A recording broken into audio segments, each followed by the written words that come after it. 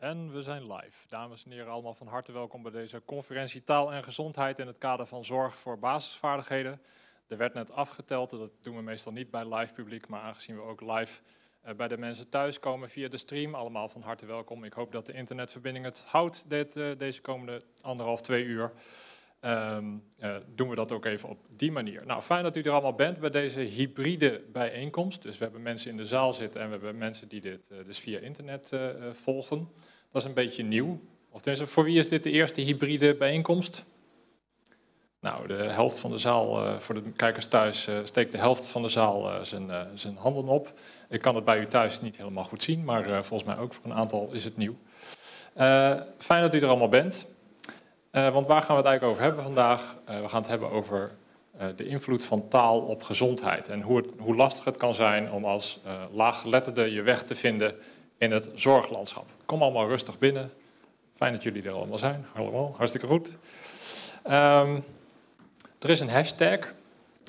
Taal en gezond GRN. Ik gok dat dat voor Groningen staat. Dus als u mee wilt doen, dan kunt u rustig even uw mening laten horen via de diverse sociale media. We checken alles, Instagram, Snapchat, uh, Twitter.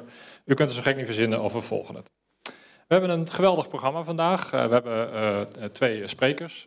Maurice de Greef is hoogleraar aan de Vrije Universiteit Brussel en houdt zich bezig met de leereffecten laagopgeleiden en laaggeletterden. Daarnaast zingt hij uh, en ik weet niet of hij zijn single vandaag zal uitvoeren, maar daar uh, zijn we nog over in onderhandeling. Uh, daarnaast hebben we de Machteld Huber, die hier handtekeningen gevend binnenkwam, aangezien ze al herkend werd door een aantal fans. ze is ook na afloop beschikbaar voor handtekeningen, eventueel. Um, en zij is natuurlijk de grondlegger van positieve gezondheid, maar dat hoef ik natuurlijk niet te vertellen. Ik weet niet of ik iets kan doen aan het feit dat de microfoon een beetje alle kanten op gaat. Het gaat hartstikke goed. Nou, ik krijg een duim, dus als u er geen last van heeft, dan heb ik er alleen maar last van. Nou, na de twee sprekers uh, hebben we twee acteurs die een aantal dilemma's uh, zullen uh, laten zien, aanschouwelijk zullen maken, op basis waarvan we dan vervolgens het gesprek aan kunnen gaan. Nou ben ik in mijn enthousiasme en door het aftellen een beetje uh, van script geraakt. Want ik zal ook nog even vertellen dat ik Daan Bultje ben en ik ben directeur van het Healthy Aging Netwerk Noord-Nederland. Een van de trotse organisatoren van deze bijeenkomst samen met Sardes en NDC Media en de geweldige mensen van Forum Groningen. Uh, in een gebouw zo nieuw dat je nog kan ruiken dat het pas neergezet is. Nou, hoe zijn we hier nou met elkaar, met elkaar uh, terechtgekomen? Um, nou, op een gegeven moment werd het thema laaggeletterdheid duidelijk op de agenda gezet en, en merkten we ook dat voor de zorgprofessionals in de dagelijkse praktijk het best een uitdaging is uh, om daarmee om te gaan. In de eerste plaats om het te herkennen en in de tweede plaats om het vervolgens ook het gesprek daarover te voeren. Dus in de eerste plaats, hoe herken je het? En in de tweede plaats, wat doe je dan vervolgens? Dus de hashtag hoe dan uh, werd daar ook heel uh, relevant. Uh, wat niet helpt is dat er natuurlijk veel schaamte is ook rondom dit, uh, dit onderwerp. En dat mensen ook ontzettend getalenteerd zijn in het verbergen van laaggeletterdheid. Dus dat het soms ook heel moeilijk is om erachter te komen. Alleen het punt is, het kan ertoe leiden dat, uh, dat bijvoorbeeld afspraken gemist worden. Of dat mensen een uitleg niet goed begrijpen. Of dat mensen hun medicijnen niet goed begrijpen. Dus het uh, niet optimaal beheersen van de taal kan ertoe leiden dat het ten koste gaat van de gezondheid. Dus het is zeer belangrijk om daar wat aan te doen. En dat is de basis van het programma Zorg voor Basisvaardigheden. Dat programma wil dus zorgprofessionals helpen bij het herkennen en bespreekbaar maken van laaggeletterdheid. Maar dan komen we bij de vraag, hoe dan? Nou, wij, uh, het Healthy Aging Netwerk Noord-Nederland en uh, Sardes zijn aan de slag gegaan om eens eerst alles te inventariseren van wat er al over bedacht is. Want dat is natuurlijk de eerste stap die je zet. Er wordt al heel veel onderzoek gedaan. Er zijn ook al een aantal methodes om ermee om te gaan. Maar wat doe je er dan vervolgens mee? Dus dat hebben we verzameld. Dus als je op han.eu uh, eh, komt, dan staat daar een banner van zorg voor basisvaardigheden. En dan kunt u daar alles vinden wat we daarover verzameld hebben. Uh, Han met drie N'en voor de goede orde. Uh, doet hij minder N'en, dan komt hij waarschijnlijk bij de Hogeschool Arnhem-Nijmegen uit. Nou, we konden ook al putten uit de ervaring die we met dit soort conferenties hadden. We hebben het een keer in, Drenthe gedaan, we hebben het een keer in, uh, in Friesland gedaan. Dus als u daar al geweest bent, dan even een waarschuwing. Een aantal grapjes die ik maak en die Hans Christiaanse zo dadelijk gaan maken, zullen waarschijnlijk terugkomen. Um, Nou, we hebben dat allemaal verzameld en dat hebben dus, willen we dus ook ter beschikking stellen. En we hebben dus die conferenties hebben wat lessen uit, uitgetrokken. Uh, en dit jaar willen we eigenlijk actief duidelijk gaan maken van nou, dit is allemaal beschikbaar, dit kunt u ermee. En willen we juist dus ook naar buiten toe. Dus daar is ook een mediacampagne aan gekoppeld. Hè, dus deze taalconferentie is daar een onderdeel van, maar er is dus ook een, een, een mediacampagne gestart via de verschillende noordelijke dagbladen. Dus het kan zijn dat u de verhalen van Monique en meneer Groen al voorbij hebt zien komen. Meneer Groen stond maandag volgens mij in het dagblad. En dat zijn echt gewoon verhalen uit de dagelijkse praktijk. Dus echt mensen die zelf vertellen en ook de zorgprofessional die dan vervolgens vertelt hoe zijn we daar dan mee omgegaan. Dus van harte aanbe aanbevelenswaardig om dit eens te bekijken. Nou, in het najaar zullen we ook nog twee laagdrempelige themabijeenkomsten organiseren, waarbij dat juist ook, hè, nu kunnen we wel met elkaar interacteren, maar waarbij we nog in een iets kleiner gezelschap nog iets dieper op de, op de dagelijkse praktijk in zullen gaan en wat je er dan allemaal mee kunt, kunt doen. Dus hou ook onze site in de gaten voor uh, die activiteiten. Nou, er heeft nog niemand een, een, gebaar gemaakt dat ik van het podium af moet komen, maar volgens mij wordt het zo langzamerhand wel eens een keer tijd. Dus ehm, hierbij ga ik een beetje afronden. maar dat geeft me, wel in de gelegenheid, geeft me wel de gelegenheid om nog even Alette Snijder, die nu probeert een foto van mij te maken, in het zonnetje te zetten. Zij is de drijvende kracht achter dit initiatief, maar weigert altijd op het podium te komen. Dus dat, dat sta ik er ook toe dat ze daar blijft staan, maar weet dat ze daar in de hoek staat en zij heeft uiteindelijk uh, ervoor gezorgd dat we zijn waar we zijn. En dat doet ze met veel tomeloze energie. Nou ja, als we het dan hebben over tomeloze energie, dan is dat het makkelijke bruggetje naar Hans Christiaanse, de Master of Ceremonies van vandaag. Take it away, Hans.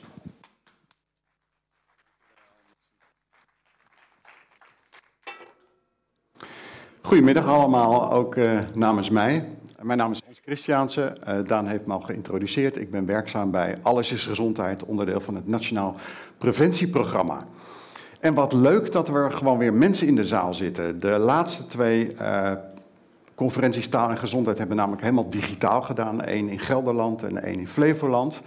Uh, wel met dezelfde sprekers, uh, maar zonder acteurs. En heel fijn dat we nu weer uh, op volle sterkte zijn. Want dit is inmiddels de zevende conferentie taal en gezondheid.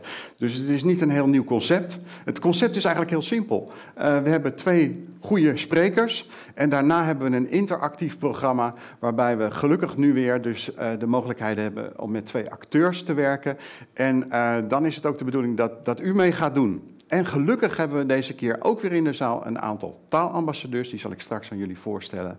Mensen die ervaring hebben op het gebied van laaggeletterdheid en met ons mee kunnen denken straks uh, als we die stellingen en de sketches gaan bekijken uh, bij het zoeken naar oplossingen en hun ervaringen op dat gebied. Uh, nou is Daan natuurlijk helemaal vergeten om die slides te wisselen, maar dat geeft niet. Dit is het programma. We zijn inmiddels begonnen en uh, jullie zien straks om tien over half uh, twee, sorry, tien over, ja, tien over half twee beginnen we dus met dat interactieve gedeelte. Ik laat ook even deze volgende slide zien. Naar aanleiding namelijk van de eerste drie uh, conferenties Taal en Gezondheid in Noord-Nederland hebben we een onderzoek gedaan. Sardes en het Healthy Aging Netwerk hebben een onderzoek gedaan, uh, onderzorgprofessionals en een aantal vragen voorgelegd. En uh, als je kijkt naar de uitkomsten van dat onderzoekje, dan zie je ook dat het ongelooflijk belangrijk is dat we dit soort bijeenkomsten organiseren.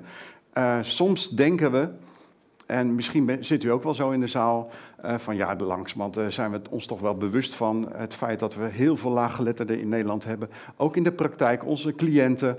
Uh, en het is toch allemaal heel logisch dat we daar rekening mee houden. En binnen onze organisatie hebben we daar afspraken over gemaakt. Maar in de praktijk zie je dat dat toch heel weerbarstig is.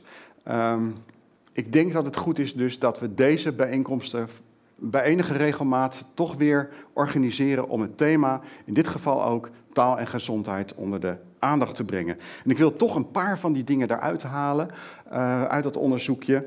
Meer dan de helft van de zorgprofessionals twijfelt of de cliënten ze ook begrijpen. En dan gaat het om de behandelplannen, om de brieven, de websites. Dus die twijfel is er bij zorgmedewerkers. Daarnaast heeft 50% van de zorgmedewerkers het gevoel dat ze onvoldoende toegerust zijn om met laaggeletterde cliënten, patiënten om te gaan. En 70%, dat is helemaal een groot aantal, 70% van de zorgprofessionals heeft geen idee waar ze laaggeletterde cliënten naar kunnen doorverwijzen. Dus daar zit nog een enorm gap. En volgens mij is het belangrijk om vanmiddag daar misschien ook al de eerste stappen in te zetten om te kijken hoe komen we tot goede oplossingen. Nou, uh, dat heeft Daan uitstekend gedaan. Die heeft de twee sprekers al uh, aangekondigd. Dus dat hoef ik allemaal niet te doen. Uh, jullie hebben al gehoord dat uh, Maurice een geweldig zanger is. Maar hij kan ook nog spreken. Dus dat is heel fijn. Dat is een mooie bijkomstigheid. Ik zou willen vragen of jullie Maurice alvast een hartelijk applaus willen geven. En even wil ik hem hier uitnodigen. Maurice. Maurice, voordat ik jou deze, dit prachtige klikdingetje geef, heb ik ook nog een vraag aan jou. Want um, als we naar dat onderzoek kijken, dan komt daar bijvoorbeeld ook uit dat één op de vijf organisaties maar werkafspraken maakt binnen de organisatie over omgang met laaggeletterde cliënten, patiënten. En mijn vraag aan jou is eigenlijk, wat zegt dat nou? Betekent dat dat men het probleem niet onderkent of heeft men geen idee hoe men dat aan moet pakken of is er geen tijd voor? Wat zou er de reden voor, van zijn dat die werkafspraken niet gemaakt worden? En misschien ook, uh, ja, wat zou je daar als organisatie aan kunnen doen? Ja, dat is een mooie vraag, Hans. en er zijn denk ik twee dingen. Volgens mij is er iets uh, um, uh, zoals verhandelingsverlegenheid. En een mooi voorbeeldje uit Tilburg weet ik nog wel. Daar was iemand van Stichting Lezen en Schrijven, die had bij alle GGD-medewerkers gevraagd als nou iemand een geslachtsziekte heeft, hè, je cliënt of je patiënt, zou je dat dan bespreekbaar maken? En ze gaf ongeveer 96% aan dat ze dat zouden doen. En ze stelde diezelfde vraag en zei ze, als iemand nou een taalprobleem heeft, wat eigenlijk denk je, dat valt wel mee, zou je dat bespreekbaar maken? En dan gaf 4% aan om dat te doen. Dus dat is eigenlijk heel bizar. Ja. Hè, dat, dat, dat, dat zo, dus ik, volgens mij zit er wel iets van een soort handelingsverlegenheid. En we leggen wel veel neer bij de zorg, dat vind ik wel. Dus je ziet wel dat bijvoorbeeld de tijd bij een huisarts of in een gesprek bij de GGD of in het ziekenhuis, daar moeten ook veel andere dingen bespreekbaar gemaakt worden. Dus we zien dat die tijd beperkt is. Ja. Dus dat het ook soms echt niet kan. Dus je zou moeten kijken of je dat dan ja, op een hele makkelijke manier onderdeel kan maken van je, van je patroon, je gesprekspatroon. En dat kan ook wel. Dus er zijn ook wel eh, mogelijkheden om dat te doen. Ik ga straks aan het eind, als we helemaal aan het eind zijn, ga ik toch vragen aan de zaal. Want ik weet dat ongeveer de helft zorgprofessionals in de zaal zit. En dan ga ik toch even vragen, een soort oproep. Wie gaat er nou uh, vanaf morgen het initiatief nemen om binnen de organisatie gewoon werkafspraken te maken. Gewoon eerst een vergadering te beleggen en te zeggen van joh, we hebben ook uh, laaggeletterde patiënten, cliënten. En hoe gaan we daar nou in de toekomst mee om? Dus ik hoop echt dat er straks een paar mensen zeggen van ja, daar gaan we mee aan de slag. Dan is dit al geslaagd, deze bijeenkomst. Ja. Maurice krijgt 20 minuutjes voor zijn verhaal en dan is er nog 5 minuten voor het stellen van vragen. Want we vinden het altijd wel leuk dat u ook meedoet. Dus mocht u een vraag hebben, schrijf het op of onthoud het. En dan gaan we Maurice de laatste 5 minuten een aantal vragen uit de zaal stellen. Succes! Helemaal goed, dankjewel. Dankjewel. Nou, goedemiddag. Allereerst fijn om hier te mogen zijn en toch weer dat stukje taal op de agenda te mogen zetten. Um, want ik ben ervan overtuigd dat als we iets meer investeren in taal, dat dat heel veel doet voor onze gezondheid. En dat blijf ik maar zeggen op al die plekken. Wij uh, mochten deze zomer op vakantie en dat was een ontzettend leuke plek.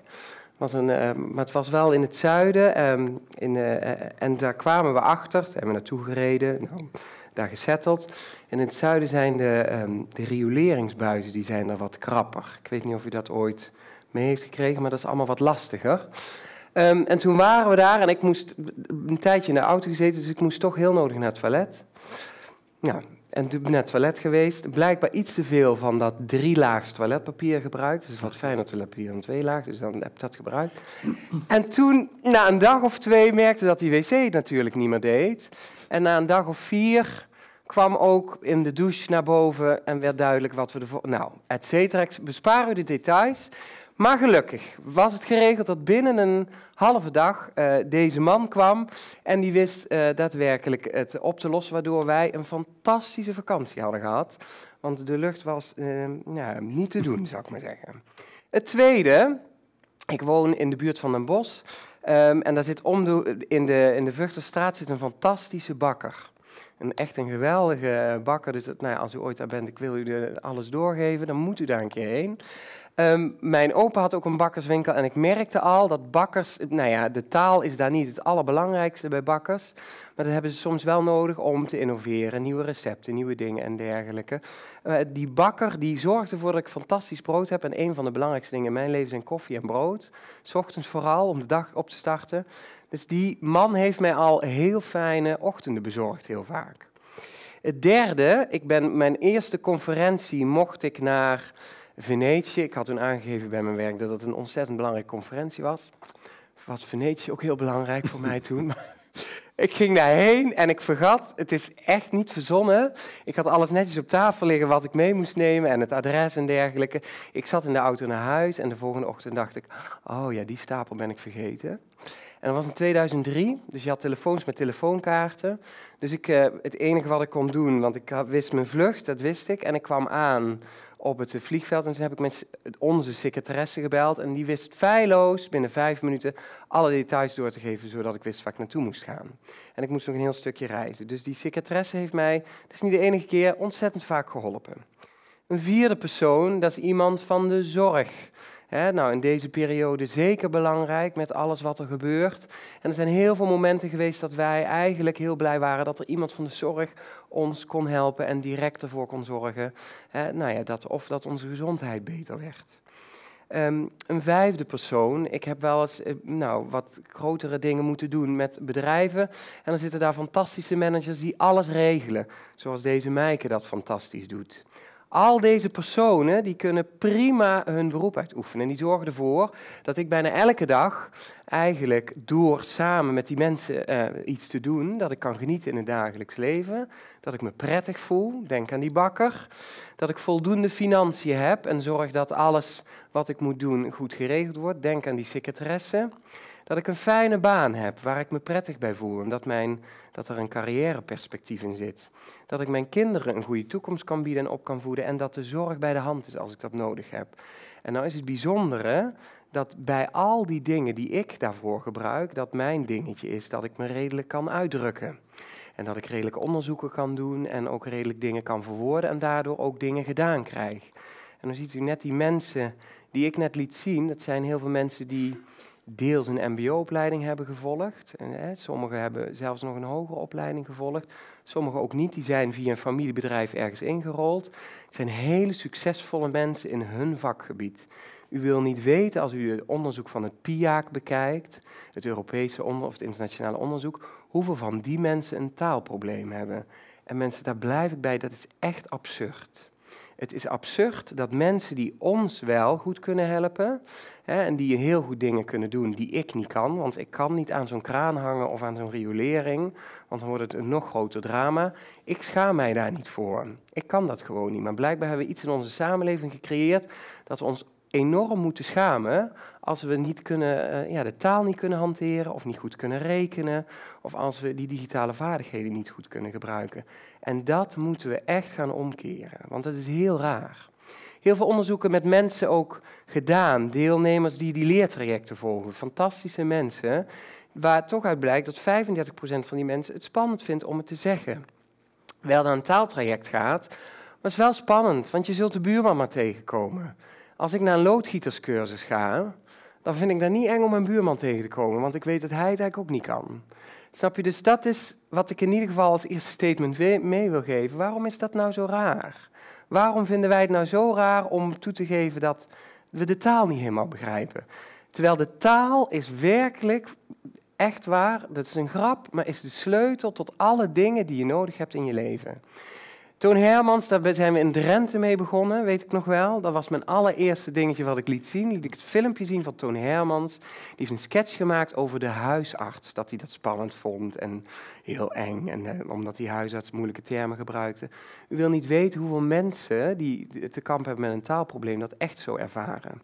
In West-Brabant op een congres gesproken met iemand die nu taalambassadeur was. En die mevrouw zei heel eerlijk, voor 300 mensen een jaar of vier geleden uh, op dat congres. Er was één reden. Mijn huisarts die stuurde mij door naar de specialist. Maar er was één reden dat ik niet naar die specialist ging. Maar ik moest gaan. En een jaar ben ik gegaan. Toen bleek dat dat niet heel goed was, want ik had kanker. Um, en dat gaf die specialist aan. Maar er was één reden, omdat ik niet kon lezen. En dat wilde ik niet zeggen. Ja, dat is raar. Daar moeten we echt van af. En we zien ook in onze onderzoeken, dat is dan handig dat we dat onderzoek doen, dat er een relatie is tussen laaggeletterdheid en gezondheid. We zien ook dat mensen met een, nou oneerbiedig gezegd, een, wat lager sociaal-economische status, dus oftewel iets kortere korter naar school is gegaan, soms iets wat minder middelen te besteden hebben, dat die wat vaker bijvoorbeeld uh, ja, depressief zijn. Ander voorbeeld van iemand die zo'n taaltraject volgde, dat was iemand die heel succesvol was in zijn werk, contracten tekende van tonnen, maar eigenlijk niet zo goed wist wat er in het contract stond. Ik heb hem gesproken. Wat deed hij dan? Hij leerde zowel de route uh, van zijn huis naar de plek waar hij dat contract moest tekenen uit zijn hoofd, nam het contract mee naar huis en thuis nou, las zijn vrouw het dan voor en dan zei ze ja, waarschijnlijk kan het wel, dus we tekenen het maar. Jarenlang succesvol geweest, heel goed gedaan. Eén probleem. Die man sliep gemiddeld per week zes uur. Omdat hij maar wilde voorkomen dat iemand dat taalprobleem eh, ja, herkende. En hij gaf ook eerlijk toe, dat was het enige waardoor ik een soort slaapstoornis heb ontwikkeld. Dus er zit echt een relatie tussen dat niet de taal beheersen en gezondheid. En dat is eigenlijk iets wat er helemaal niet hoeft te zijn. Drie voorbeeldjes, die heb ik in die andere conferentie ook wel eens genoemd. We zien dat als mensen um, nou, meer de taal eigen kunnen maken, wat geletterder zijn, dat ze ook eigenlijk positiever zijn over hun eigen fysieke gezondheid. We zien ook bijvoorbeeld dat er een relatie is met diabetes. Hè, mensen die diabetes hebben en lage gezondheidsvaardigheden hebben, dus niet helemaal de regie hebben over hoe ze de gezondheidspapieren moeten gebruiken of dingen moeten lezen voor een, uh, hoe ze daarmee om moeten gaan, dat die ook ja, wat, wat ergere klachten hebben, meer oogklachten en ziekte met bloedvaten. En we zien ook, en dat heb ik net ook al genoemd, dat mensen ook die wat laaggeletterder zijn, wat eerder wat depressiever zijn. En dat is eigenlijk jammer, als het enige is dat je de taal niet meester bent. Dus daarom is het handig om er iets aan te doen. En dan komen we bij het stapje dat we zeggen, oké, laten we de zorg inzetten en we zorgen dat iedereen die bij, uh, in een gesprek met een zorgprofessional is, vervolgens dan doorgestuurd wordt misschien wel naar een taaltraject. Maar dat is heel lastig. Dat is niet makkelijk om te doen. In het voorjaar heb ik een onderzoek gedaan met heel veel mensen die een, een taaltraject hebben gevolgd. En die heb ik ook echt gevraagd. Dat was een groot onder, of nou, een redelijk groot onderzoek onder iets meer dan 250 eh, deelnemers. En een aantal hebben we ook geïnterviewd, hebben gezegd van, vind je het goed als dat bespreekbaar gemaakt wordt door de zorg? Vind je dat daar de plek is om iets over je taal te vragen? Nou, de zorg kwam op de tweede plek uit, dus dat is prima.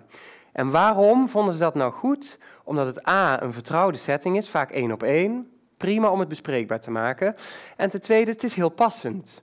Want als iemand mij een recept geeft of iemand vraagt om een formulier in te vullen, dan vind ik dat, dan is het nog wel functioneel. Maar ik vind het wat raar als iemand dat uh, naar mijn taalproblemen gaat vragen, bijvoorbeeld in de hal van een ziekenhuis of zo. Dus zorg dat het op een vertrouwde manier gebeurt en passend gebeurt. Dan is het prima om dat te doen. En dat kun je eigenlijk heel, nou ja, redelijk eenvoudig doen door te kijken bij die persoon. Als je merkt dat er iets met taal speelt, van waar loop je nou tegenaan in het leven, kun je het formulier invullen. En die herkenningswijze van Stichting Lezen Schrijven is prachtig en die klopt ook heel vaak. De simpele voorbeelden van de Mitella, uh, omdoen dat je het niet kan invullen, het formulier gebeurt echt. En volgens mij ook van ik neem het formulier wel mee naar huis. Als u nou uw poot een beetje stijf houdt en zegt nee, ik wil graag dat u het formulier hier invult, want dat doet iedereen. Dat is onderdeel, we maken daar geen onderscheid in. En u ziet dat dat niet lukt, dan heeft u wellicht een bruggetje. Dus als u dat simpel uh, doet, dan helpt dat meestal wel. Dan merk je dat die mensen ergens tegenaan lopen bij het gezondheid zijn. En dan kun je ook vervolgens kijken hoe mensen dat dan anders kunnen gaan doen. En dan kun je ze concreet een aanbod doen, bijvoorbeeld uh, richting een, uh, een, taaltraject in de buurt, maar ook een, richting misschien iemand die daarbij kan ondersteunen. En dat werkt prima. Die voorbeelden hebben we gezien bij zorginstellingen, die werken prima. Wat we niet moeten doen, daar ben ik niet zo'n voorstander van, is als je in een gemeente, in een regio gaat beginnen, om dat met alle huisartsen, alle GGD's, alle ziekenhuizen te doen. Nee, kies. Als er twee zorgorganisaties zijn die dat fantastisch vinden om te doen, begin daarmee. Mooiste voorbeeld, ziekenhuis in Kroatië. Er was iemand, die, er was daar een chirurg en zij vond het ontzettend belangrijk. Was bevlogen en heeft het zelf onder de aandacht gebracht. En dat werkte als een tierenlier, want zij kreeg al haar collega's mee. Dus intern werkte dat heel goed. Dus als je bij iemand begint die daar een passie voor heeft, dan werkt dat ontzettend goed. Dus dat is mooi. Werkt het dan wel, zo'n taaltraject? Doet het iets met mensen? Nou, daar hebben we ook onderzoek naar gedaan. Ik dacht, misschien is het goed om dat eens uh, um, voor het uh, voetlicht te brengen. Wat wij zien, dat allereerst, dit is een voorbeeld, je ziet een citaat van een deelnemer staan, dat bij een taaltraject in Tiel, dat was een project Tiel aan de gezonde zijde, en dan kregen mensen kregen ze dingen, leerden ze over hun gezondheid en de taal. En dat taal was geïntegreerd aangeboden binnen die gezondheid, dus er lag helemaal geen focus op. En wat je merkt is dat de mensen veel beter de taal konden toepassen in de praktijk na een, eh, een half jaar. Dus het meer, voor het merendeel was dat het geval. We merkten ook dat die mensen allereerst heel veel meer gezonder gingen eten en drinken. En het allermooiste voorbeeld is bijvoorbeeld de energy drink, waar heel veel mensen van dachten, dat is ontzettend gezond. U kent vast het voorbeeld wel, maar we weten dat er toch heel vaak wat suiker in zit. Dus toen hebben, heeft die docent echt geprobeerd om mensen structureel meer water te laten drinken. En dat werkte prima, dat was een prima vervanger voor die mensen. Kleine dingen, open deuren, maar het werkt heel goed, want daardoor kun je die gezondheidsverschillen indammen. Een ander punt is dat we zagen dat mensen veel meer zelfvertrouwen kregen, veel meer zekerheid kregen. Ze durfden zelf een afspraak te maken bij de huisarts, zelf een afspraak bij een specialist. Voor ons een heel klein stapje hè, om dat te doen wellicht, maar voor die mensen vaak een hele grote stap waar we achter kwamen in gesprek met de deelnemers. En nu ging dat prima. We merkten ook dat ze veel makkelijker contacten gingen leggen met andere mensen um, buiten die, uh, die lessen. Dus die contactlegging ging uh, omhoog bij die mensen. En we merkten ook dat ze beter contact aangaan gingen met de huisarts, maar ook met specialisten. Een allermooiste voorbeeld was mensen die zeiden van ja, ik heb heel veel last. Er waren een aantal dames van uh, um, uitslag op mijn been. En toen zei die docent, nou ja, uh, laten we eens naar kijken wat het dan is.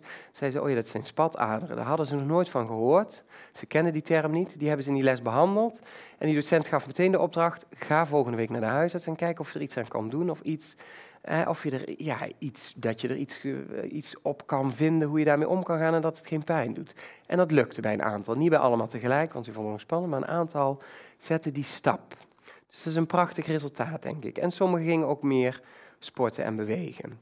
En we kregen ook iets dergelijks wat we net al zagen. In andere literatuuronderzoek zien we dat er een relatie is met depressie. En wij zien ook dat mensen na 15 weken, dat de helft van de groep veel beter in zijn of haar vel zit en eigenlijk veel beter, um, uh, prettiger door het leven gaat. Dus een beter ervaren gezondheid kreeg. We hebben dat nog een keer kwantitatief onderzocht en toen bleek dat ook. In Twente was 55% van de mensen die ervaren een afname in sociaal isolement.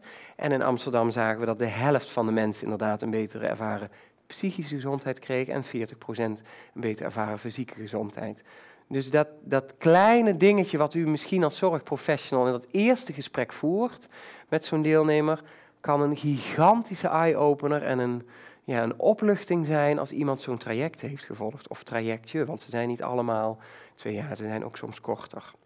We zien dat de beste ingrediënten voor dat traject is dat er een gekwalificeerde docent op staat bij zo'n ta taaltraject, dat er voldoende dingen aangeboden worden zodat ze direct in de praktijk aan de slag kunnen en uh, um, dat de thuisomgeving betrokken wordt soms. En dat is een moeilijke stap, maar waar men um, de deelnemer uitdaagt om het bijvoorbeeld met de partner bespreekbaar te maken, dan zien we dat heel veel winst te behalen valt. Mooi voorbeeldje uit Zwolle.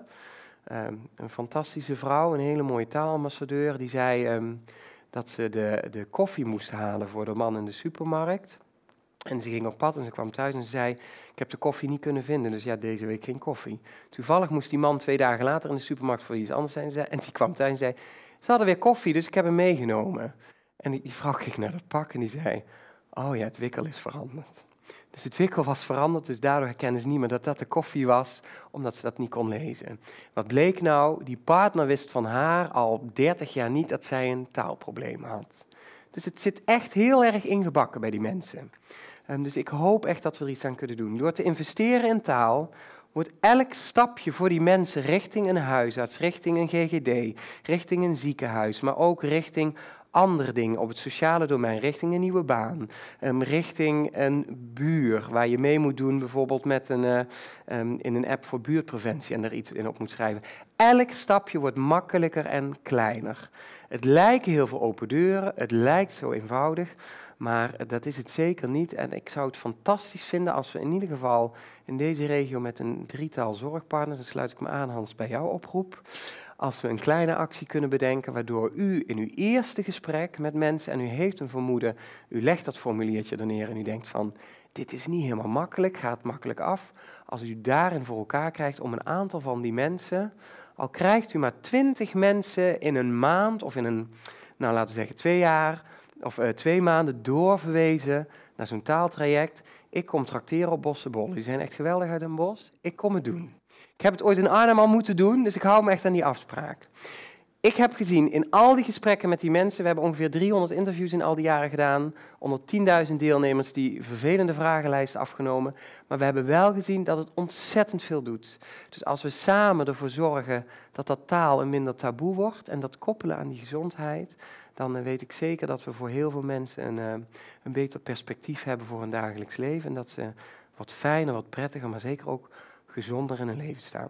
Dank u wel.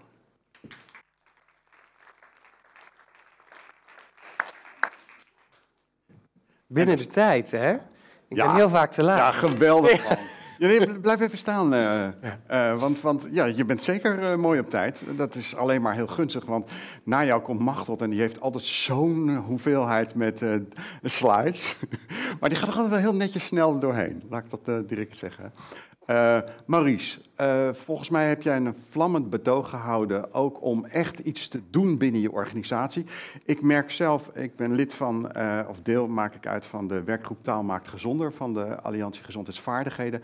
En wat we daar soms zien is dat mensen vanuit een ziekenhuis zeggen van ik sta daar zo alleen in binnen mijn organisatie. Ik zou dat heel graag willen, yeah. maar ik, jij gaf net al, als er maar één bevlogen arts of één bevlogen verpleegkundige zou zijn. Maar het valt vaak zo tegen om dan de rest mee te krijgen. Heb je er ervaring mee? Hoe, hoe pakt zo iemand dat aan binnen zijn organisatie? Ja, er zijn twee manieren om dat te doen. Ene wat we wel eens zien hè, bij het sluiten van een taalakkoord of iets dergelijks, dat we eerst maar willen dat we het mogen doen en het vastleggen in beleid en dan kijken en daar een plan op maken. Dat zou ik niet doen. We kunnen allemaal beleid maken, we kunnen allemaal visies schrijven en dat doen we heel goed probeer nou eerst maar eens in je, um, als ik een adviesje mag geven, um, in je eerste gesprek gewoon te beginnen en te kijken of dat gesprek lukt. En of die deelnemer of die patiënt die je voor je hebt dat niet vervelend vindt. Want waarschijnlijk van, de, van die tien mensen waar dat dan lukt, zijn er dan twee of drie mensen die dat in het begin niet fijn vinden. Ja. En als je dat voor elkaar krijgt, dat hebben we wel gezien bij heel veel praktijken die goed lopen dan is die stap heel makkelijk gezet om vervolgens meer collega's mee te krijgen. Dat zie ik wel echt. Oké, mooi. Mooi. Nou, houden vast. Er zijn vast vragen uit de zaal. Uh, wie mogen we als eerste? Uh, ah, daar staat uh, Alette, die heeft mooi zo'n hengel bij zich. Wie mag ze als eerste het woord geven? Daar is een mevrouw in het midden van de zaal. Misschien even de naam en de organisatie en dan de vraag aan Maurice. Nou, heel fijn dat u overigens allemaal meekijkt ook, hè, via de livestream. Ja, ik we gaan. Uh... een vraag over uh, wat je vertelde over dat traject, taaltraject. Maar hoe ziet zo'n traject er dan uit? En dat bedoel je dat traject waar ik die resultaten van vertelde, hè? Van dat Tiel maakt. Ja. Uh, die mensen komen dan voor dat ja. taaltraject, maar hoe ziet zo'n ja. taaltraject er dan uiteindelijk eigenlijk uit? Ja, dat kan heel divers zijn. Okay. Dus dat doe je meestal met een, een, een, onderwijsinstelling, bijvoorbeeld een ROC, zou ik maar zeggen. hier, om, hier in deze regio zit bijvoorbeeld het Alpha College, het Noorderpoort College. Die hebben een afdeling volwassen onderwijs en die maken dan zo'n traject. En die maken dan, en dat doen ze meestal samen met een zorgpartner. Dus je kunt dat samen, hè, daar zitten, zijn ook, zitten middelen achter, dus je hebt ook ruimte om, om die mensen zo'n traject aan te bieden. En dat is wat we als zorginstellingen vaak niet weten, merk ik. Dus dat er gewoon zo'n traject aangeboden kan worden. Die vinden dat fantastisch om te doen. Die middelen zijn er ook. Dat zijn de webmiddelen, wet educatie, beroepsonderwijs.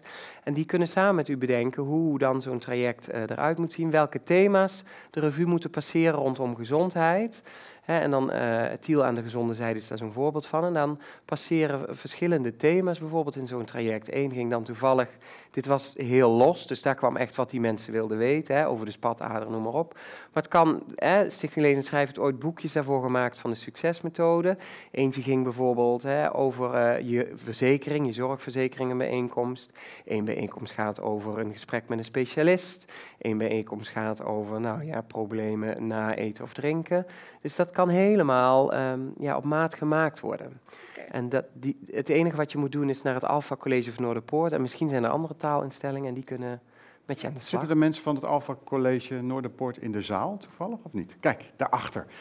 Kijk even om, dan kun je daar misschien straks ook eventjes een gesprekje mee aanknopen om wat meer informatie te krijgen. Wie heeft er ook een vraag aan Maries? Eens even kijken. Ja. Misschien toch even de naam en uh, de organisatie. Goedemiddag, mijn naam is Tessa van der Leij. Ik werk bij het ministerie van Volksgezondheid, Welzijn en Sport. Dankjewel voor je inspirerende verhaal. En wat ik er heel erg uh, uithaal, is ook dat taboe doorbreken. Maar ik vraag me af, op welke wijze kunnen we dat taboe doorbreken, behalve in de spreekkamer, wat je al aangeeft, uh, hoe, hoe, kunnen we die schaamte die mensen kunnen ervaren, die moeite hebben met taal of lezen, rekenen, hoe uh, ja, kunnen we dat aanpakken? Dat die schaamte verdwijnt en, en de taboe doorbroken wordt. Ja, er zijn een, een aantal verschillende dingen wat je daarvoor kan doen. Uh, we hebben ook uh, Europese good practices vergeleken. Dus we hebben Europese onderzoek gedaan en hebben aan andere landen gevraagd: hoe doe je dat nou? Hè? Hoe pak je dat nou aan op uh, die manier? Wat we zien is dat, uh, één, blijkbaar hebben we nog heel veel mensen in onze samenleving uh, weten niet dat er zoveel mensen een taalprobleem hebben, ondanks alles wat wij al vanuit de sectoren doen. Um, wat we zien is dat alle campagnes die er geweest zijn, hele goede campagnes, maar die zijn altijd wel ingestoken vanuit het probleem. Op één campagne na, en dat is de campagne van de provincie Gelderland. Die hebben nu een nieuwe campagne gelanceerd en die gaat uit van het positieve. Als je zo'n simpel taaltrajectje volgt, uh, dan is dit het resultaat. Dus die zegt bijvoorbeeld, um, uh, zelf je bijsluiter lezen, geen punt. Nou, dat, dat, is de enige zin die daarop staat. En dan hoe je dat kan regelen. En dan kom je bij zo'n taaltraject uit.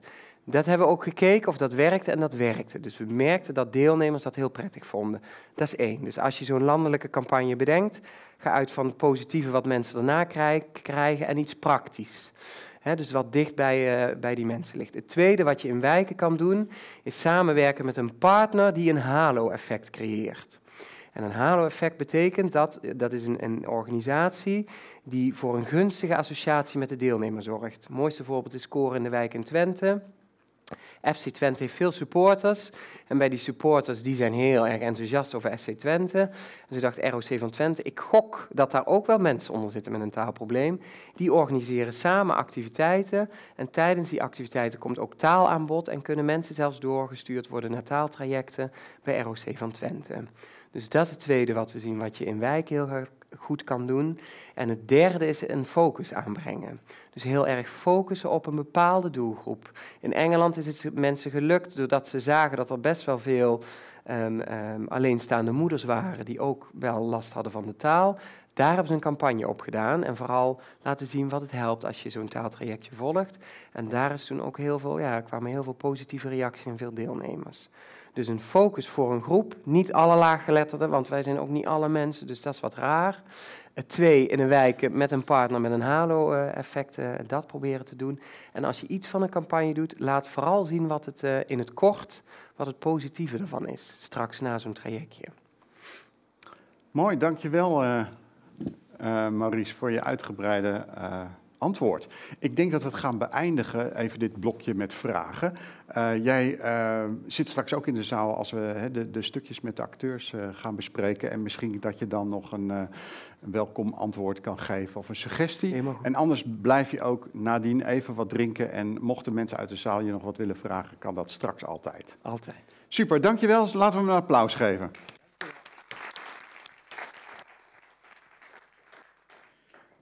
En dan gaan we, uh, daar komt ze al aan, uh, naar Machtel Huber. Uh, welkom Machtel, fijn dat je er bent. Ook, ehm, ook heeft Daan jou al geïntroduceerd. Ja. Wat misschien nog niet zo heel veel mensen weten, is dat je mede-auteur bent van een nieuw boek wat ja. in juni is uitgekomen. Het handboek Positieve Gezondheid in de Huisartspraktijk. Ja. Klopt, hè? daar ben je mede-auteur van. is het al gaan lopen, dat boek? Heb je het idee dat, dat mensen het kopen op dit moment? het is in mei verschenen. Na één week was de eerste oplage uitverkocht. De tweede oplage was binnen een maand uitverkocht. En de derde oplage loopt al heel hard. Ik zit op weg hier naartoe de Engelse vertaling te corrigeren. En we zijn al met een Duitse vertaling bezig. Het is echt bizar. Mooi, ja. mooi. Nou, zeker. Dus, dat is een applausje waard. Nou, we zijn heel blij dat Machteld hier is, want zij is ook voor de zevende keer al in ons midden. En ik kan me nog goed herinneren, de eerste keer was in het provinciehuis in Assen. Uh, daar memoreerde Maurice net ook al aan. En uh, toen was het nog niet zo dat je de gesprekstoel uh, positieve gezondheid, dat dat ook echt toegankelijk was voor laaggeletterden. Daar ga je straks iets meer over vertellen. Maar ik ben heel blij dat de afgelopen jaren dat daar ook stappen in genomen zijn. Dat juist ook voor deze groep mensen deze gesprekstoel ook toegankelijk is geworden. En ik ga jou ook een vraag stellen, net als dat ik bij Maurice heb gedaan. En die vraag komt ook vanuit dat onderzoek.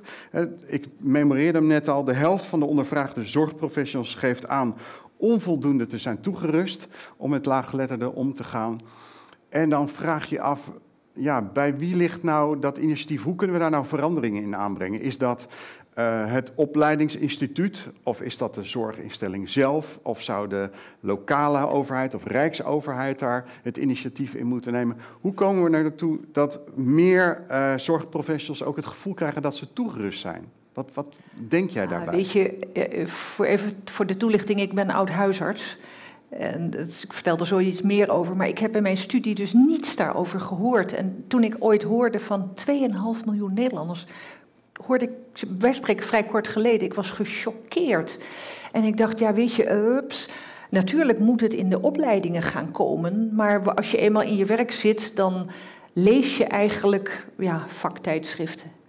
En het, het, ik zou ontzettend fijn vinden, ik zal dat uh, niet meer doen, want ik ben al flink gepensioneerd.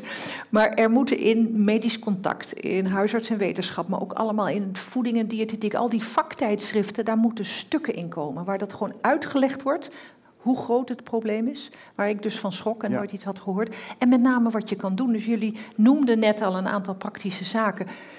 Echt, daar moet het regelmatig verschijnen. Okay. En wat er verder gebeurt in de bibliotheken en al die taaltrajecten is fantastisch. Maar meestal zijn de zorgprofessionals zo druk dat ze dat nauwelijks weten. Dus je moet het die tijdschriften Die medische lezen. vakbladen die worden gewoon goed gelezen. Echt waar, Ja. inderdaad. En, Ja. nou, we, we kennen mensen die dat zouden kunnen schrijven. Ja, Dus ik wil dat echt, voordat jij met pensioen gaat, dat je dat realiseert ook. Ja, heel goed. Dat hebben we echt nodig. Eh, we gaan naar de, de, de toespraak, de lezing van eh Machtot eh, luisteren. Ook straks, daarna is het vijf minuten de mogelijkheid om vragen te stellen. Helaas, voor de mensen die live meekijken, is dat niet het geval. Maar wie weet dat u toch ook een antwoord krijgt op vragen die gesteld worden. Ehm eens even kijken. Ja, Ja, je begint al dat ik zoveel slides heb. maar, maar jij had er nog meer. Dank voor je prachtige verhaal trouwens. Ik heb weer eens genoten. Ik mocht eh, het grote lijnen hetzelfde verhaal vertellen wat ik meestal Ja. vertel. Gewoon als een stuk basis. En dat gaat ook over taal, maar het gaat gewoon over gezondheid in het algemeen. En dat is echt mijn thema, wat ik zei. Ik ben oud huisarts.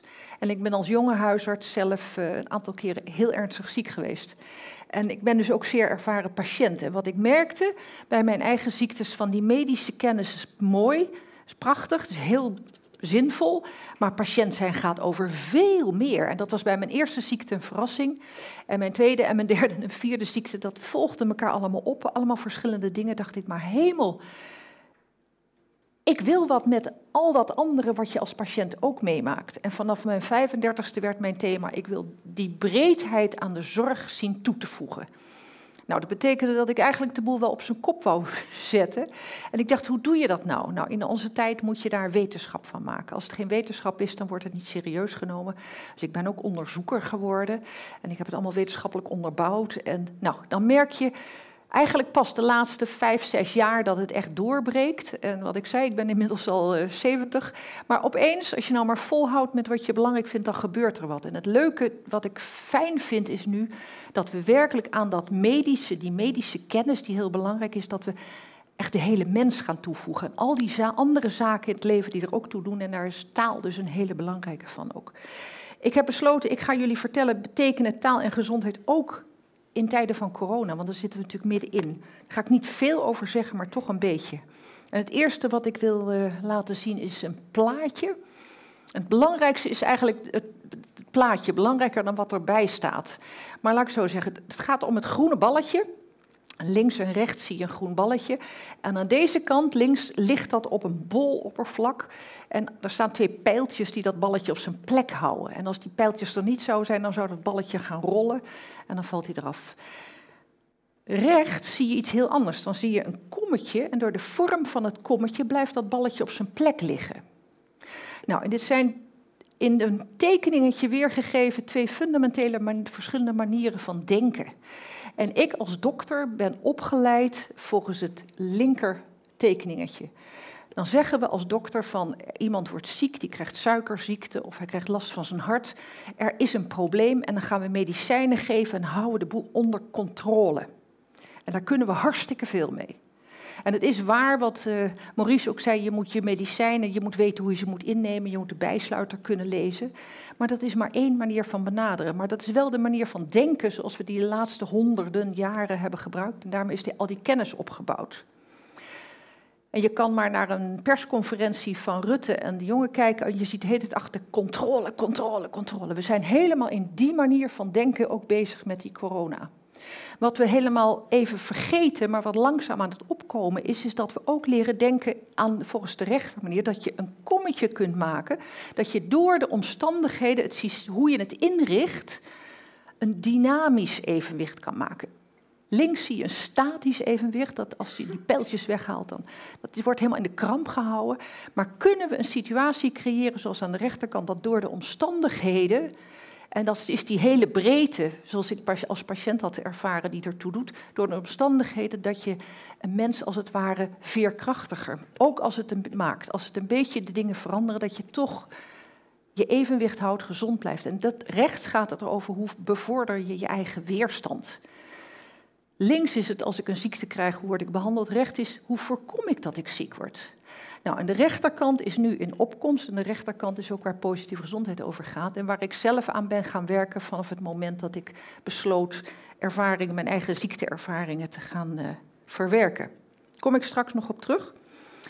Nu eerst maar uh, het verhaal van hoe positieve gezondheid is ontstaan en ja, wat het eigenlijk is en wat gezondheid echt is. En we hebben het weliswaar, we noemen het gezondheidszorg, maar we denken gewoon volgens ziektezorg. En dat geeft dit plaatje weer, dat linkerplaatje, het is niet van mij, dat is van een zorgverzekeraar, die zei hoe de kosten in de zorg verdeeld worden. En nou, recent kon je nog horen, het gaat tegenwoordig over 100 miljard. En dat hele blauwe stuk gaat naar ziektezorg. Dus we wachten tot mensen ziek worden en dan behandelen we ze hartstikke goed. Maar dat roze puntje daaronder, dat is wat we in verhouding uitgeven aan preventie. En recent zei de staatssecretaris nog dat 2,5% van al dat geld geven aan het voorkomen van ziekte. Nou, ik vond het werkelijk schokkend toen ik het hoorde, maar het klopt echt. Maar wat is het bijzondere dat de zorgverzekeraar die dit liet zien, die zei we gaan naar de rechterkant. En daar keert het helemaal om. Je hoeft niet bang te zijn dat die twee lijnen, dus de ziekenhuizen, dat zo weinig ziekenhuizen overblijven. Maar wat hij wil laten zien, het gaat toch kantelen. Minder ziekenhuizen, meer de eerste lijn, dat is de huisartsenpraktijk met alles wat erbij hoort. Dat gaat groter worden. Mensen, dichter bij de mensen komt de zorg.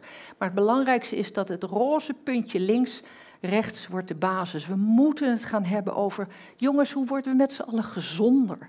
En dat betekent niet afwezigheid van ziekte, maar veerkrachtiger, beter werkend afweersysteem enzovoort. Nou, en dat is waar het naartoe moet gaan en daar plaats ik positieve gezondheid ook.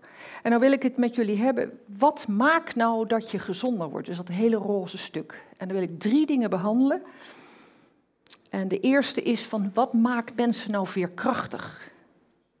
En dat is ontwikkeld door een uh, meneer Antonovsky. En dat was een meneer die werkte in Israël waar die onderzoek deed in een ziekenhuis. In dat ziekenhuis kwamen nogal wat mensen die een concentratiekamp hadden overleefd. Nou zijn dat natuurlijk een kleine minderheid, maar de mensen die overleefden zijn vaak naar Israël gegaan. En wat merkte hij in dat ziekenhuis? Dat heel veel van die mensen echt eh, beschadigd waren, trauma hadden, psychisch, vreselijk. Maar van die groep was er een kleine groep die hetzelfde had meegemaakt en die deed het eigenlijk heel erg goed. En hij is niet naar die trauma's gaan kijken, hij is zich gaan afvragen waarom kunnen sommige mensen die vreselijke omstandigheden zo goed doorstaan. En hij vond drie dingen, en neem me niet kwalijk voor de Engelse woorden, maar dat werkt in de wetenschap zo. Drie karaktereigenschappen waren belangrijk. En ik noem ze eerst in het Engels: de comprehensibility, de manageability en de meaningfulness. En waar gaat dat nou om? De comprehensibility was het eerste dat de mensen begrepen hoe de situatie was. Nou, daar voel je de verbinding al komen met die taal. Het werd al verteld hoe moeilijk het is als je het niet snapt, dat je helemaal in verwarring bent en dat je de dingen maar uit je hoofd gaat leren. Het beheersen van de taal helpt ook dat je de situatie waar je in verkeert beter begrijpt. En dat bevordert je veerkracht. Dat is één. De tweede factor, de manageability, betekent dat mensen het gevoel hebben dat ze iets kunnen doen zelf. Dat ze een stukje eigen regie kunnen voeren. Nou, ook daar, als je al onzeker voelt en die denkt van, oeh, moet ik naar het ziekenhuis, dan ben je ook al, wat daaronder staat eigenlijk, bij de eerste ben je in verwarring, bij de tweede voel je machteloos. Dus ook voor dat gevoel dat je zelf iets kunt doen, is de taal geeft je zelfvertrouwen. Maurice liet zien hoezeer dat zelfvertrouwen toeneemt als je de taal beter beheerst. En de derde factor die deze meneer vond, was de zingeving. Het hebben van een, iets in je leven wat voor jou belangrijk is. Waar je echt blij van wordt. Waar je als het ware lichtjes van je in je ogen krijgt dat je zegt ja. En deze meneer zei, van die drie is de zingeving, je persoonlijke idealen, wat voor jou belangrijk is, volgen is het belangrijkste. Maar het begrijpen dus, het gevoel dat je iets kunt doen en een vorm van zingeving, dat maakt je veerkrachtig. Nou, u kunt al snappen dat taalproblemen je daarmee wat dat betreft op achterstand zetten. Tweede is, wil ik de, weer een Engels woord, de blue zones noemen. Nou, in het noorden zijn jullie bezig een blue zone te maken, maar het zijn gebieden in de wereld waar mensen heel oud worden zonder chronische ziektes en zonder mentale aftakelingen. Dus het is niet zo dat als je ouder wordt, dat je per definitie chronische ziekte moet krijgen. En dat tonen die gebieden die over de hele wereld ontdekt zijn. In Japan, in het Middellandse Zeegebied, in Midden-Amerika, West-Amerika. Inmiddels hebben ze in Zweden ook weer een groep ontdekt. Het, is dus niet, het ligt niet aan de genen van die mensen. Het ligt over de hele wereld liggen die plekken verspreid. Maar het is de manier waarop ze leven, hun leefstijl. En wat zijn de overeenkomsten? Ten eerste is dat de voeding van de mensen. Al deze mensen eten vers bereid eten. Dus geen kant-en-klaar maaltijden die in de magnetron gaan of zo. Maar ze, vaak hebben ze moestuintjes, maar ze eten vers bereid eten. En dat is in Japan echt anders dan in het Middellandse zeegebied. Maar ze eten allemaal grotendeels plantaardige producten, een klein beetje vlees, vis of zuivel. En ze eten niet heel veel. Ze eten tot ze prettig verzadigd zijn en dan stoppen ze. Nou, dat is het eerste, hun voeding. Dat hebben ze allemaal over de hele wereld gemeen. De tweede is dat ze bewegen, maar niet met sportscholen en stappentellers, maar ze zitten niet op de bank. Ze zijn op een normale, natuurlijke manier veel in beweging. Ze lopen veel, ze fietsen veel en dergelijke. Nou, daar horen we veel over, van je moet veel bewegen en uh, goed eten. Maar er zijn twee andere factoren en die zijn net zo belangrijk. Al deze mensen komen hun bed uit omdat ze iets doen wat voor hen belangrijk is. En daar duikt die zingeving weer op. Dat is puur persoonlijk. Maar ze, ze gaan voor iets. En tot op hoge leeftijd blijven ze dat doen omdat ze het gewoon fijn vinden. Dus de zingeving is al die plekken belangrijk in het leven. En de vierde is, ze hebben allemaal het gevoel dat ze ergens bij een groep horen. Ze zijn sociaal verbonden. Nou, dat kan een dorpsgemeenschap zijn, dat kan een familie zijn of wat dan ook. Maar het eenzaam zijn is heel erg slecht voor je gezondheid. Nou, dan snap je ook als je net hoorde van Maurice, wat die, als je een schaamte hebt over een taalprobleem, dan heb je ook wat minder makkelijk contact met anderen, trek je terug. Zeer schadelijk voor je gezondheid. Dus dit zijn de factoren die gewoon bij de leefstijl horen. Daar kom ik straks nog op terug. En dan ga ik nu naar het werk wat ik zelf heb gedaan aan de definitie van gezondheid. Want ik wilde dus gezondheid, veerkracht wilde ik op de kaart gaan zetten, wilde ik gaan toevoegen aan de zorg. En toen liep ik tegen de definitie van gezondheid aan van de Wereldgezondheidsorganisatie. En die zei: gezondheid is een toestand van compleet welbevinden, lichamelijk, psychisch en sociaal. Niet de afwezigheid van ziekte en gebreken. En die is geformuleerd toen de Verenigde uh, Naties werden opgericht en daarnaast de Wereldgezondheidsorganisatie na de Tweede Wereldoorlog. In 1948 hebben ze gezegd: dit is gezondheid. Nou, toen ik het vroeger las, dacht ik, prachtig. Maar hij is totaal onmogelijk. Want dit betekent dat compleet welbevinden, een toestand van compleet welbevinden, dan moet je dus altijd helemaal optimaal. Nou, er zijn mensen die zeggen, dit bereik je met een orgasme en daarna is het weer over. Dit is niet met het normale leven verenigbaar. En ik liep daar tegenaan, want ik wou het over veerkracht hebben. Nou, het is mij voor me gelukt om voor de overheid te werken aan een andere formulering. En uiteindelijk is daar uitgekomen gezondheid als het vermogen om je aan te passen en je eigen regie te voeren in het licht van de sociale, fysieke en emotionele uitdagingen van het leven. Dezelfde terreinen als de WHO, Wereldgezondheidsorganisatie, lichamelijk, psychisch en sociaal.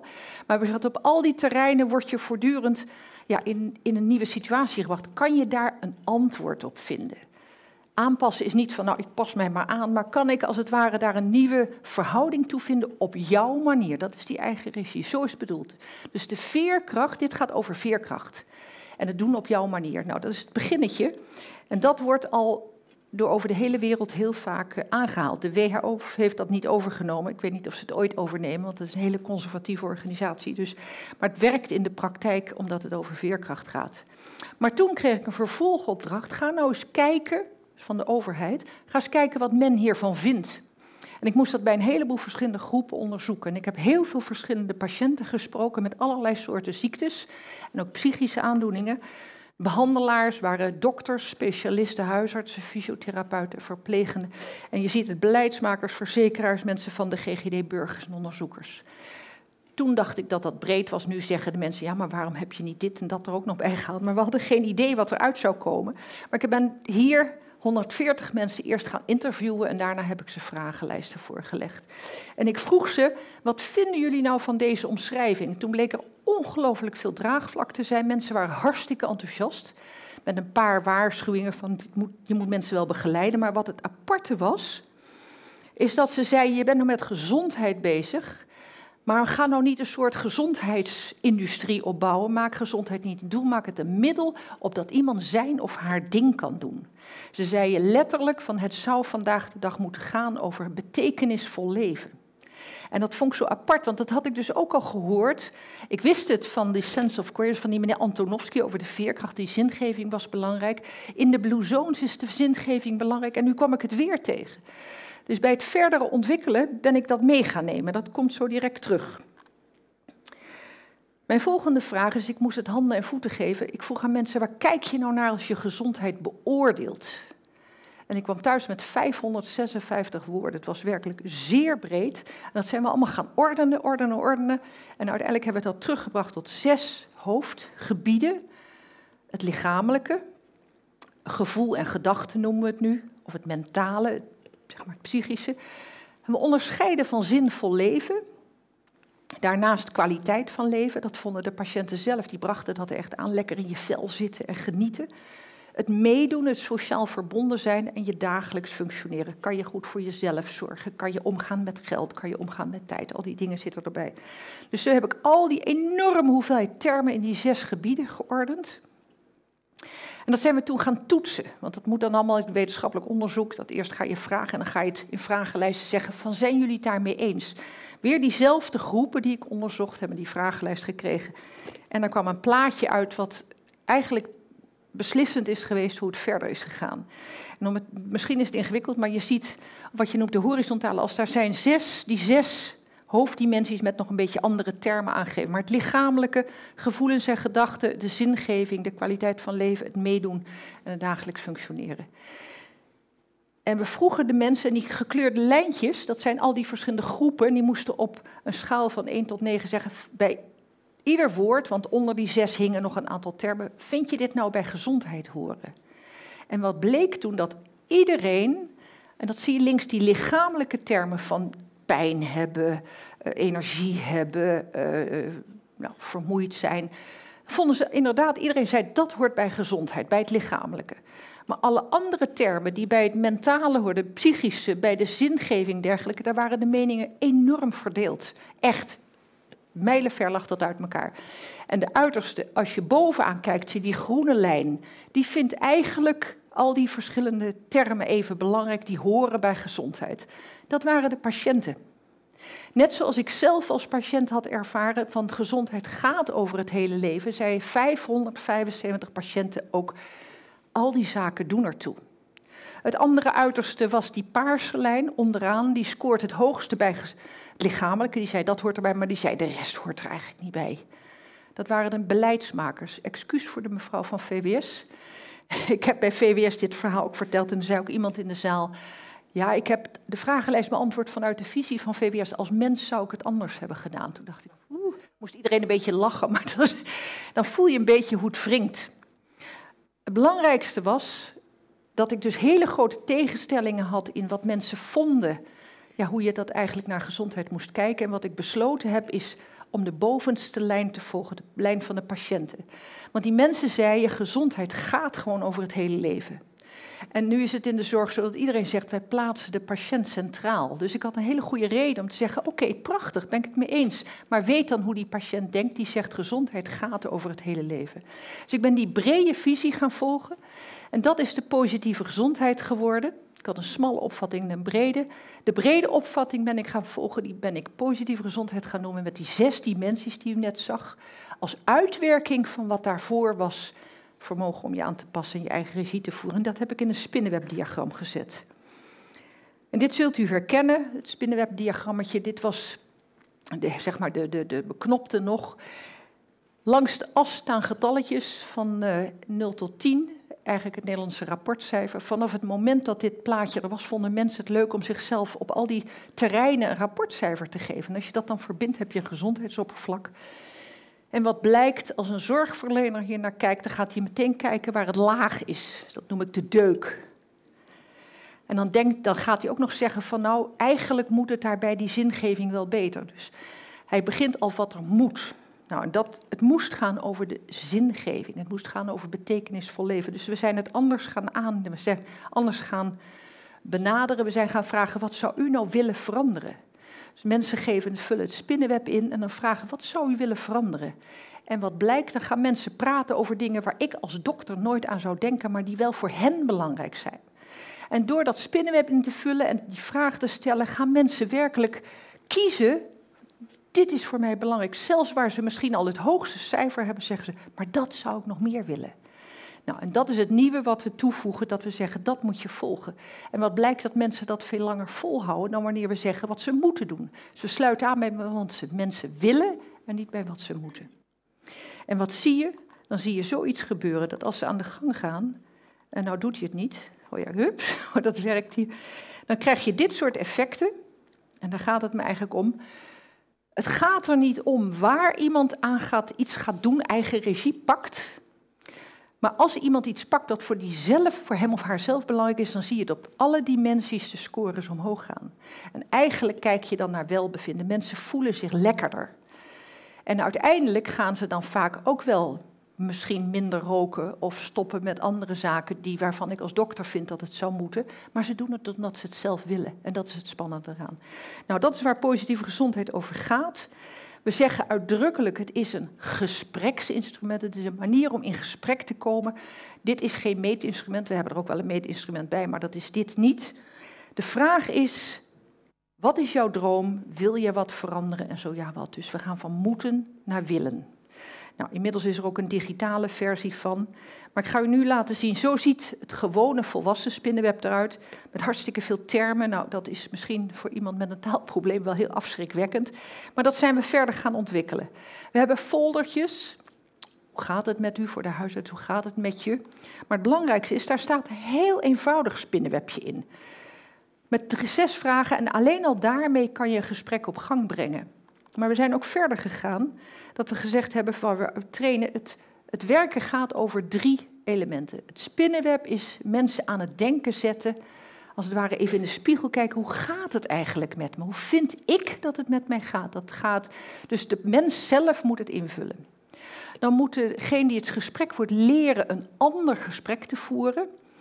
Wat is voor u belangrijk en zou u wat willen veranderen? En dat noemen we het andere gesprek, omdat ik als dokter altijd geleerd heb dat ik ga vertellen wat die ander moet doen. Maar ik moet leren mijn mond te houden. Nou, dat is knap moeilijk, maar dat merken we in de trainingen. Maar als mensen eenmaal doorhebben dat het echt werkt, leren ze hun mond te houden. En dan is de vraag, als iemand iets wil, wat kan je dan doen? En dan is het goed Heel vaak weten mensen zelf al wel wat ze zouden kunnen doen. Maar het is ook goed als je als professional weet dat er een taaltraject is waar je iemand naar kan verwijzen. Dus dat hoort er wel bij. Je moet ook samenwerken met mensen die op andere terreinen dan dat van jou ook deskundig zijn. Het belangrijkste is kleine stapjes, dat het haalbaar is. En het is goed om in je achterhoofd de kennis uit de Blue Zones mee te nemen. Iets te weten dat het, als het past het over de voeding te hebben, over de beweging te hebben, het over de zingeving te hebben en de sociale verbondenheid. En ook voor de professionals zelf is dat heel belangrijk, om daar bij jezelf eens na te gaan. Maar dat hou je, dat hou je dan als in je bagage. Inmiddels hebben we vier tools. Begon met mijn onderzoek, dat waren de volwassenen. En daar zijn we op verzoek, hebben we daar een kinderversie naast gemaakt. We hebben een, dat is van 8 tot 16, van 16 tot 25 is er een jongere. Dat doen we allemaal met de mensen zelf. En de nieuwste is dat we wat noemen de eenvoudige tool voor mensen met toch wat taalachterstand.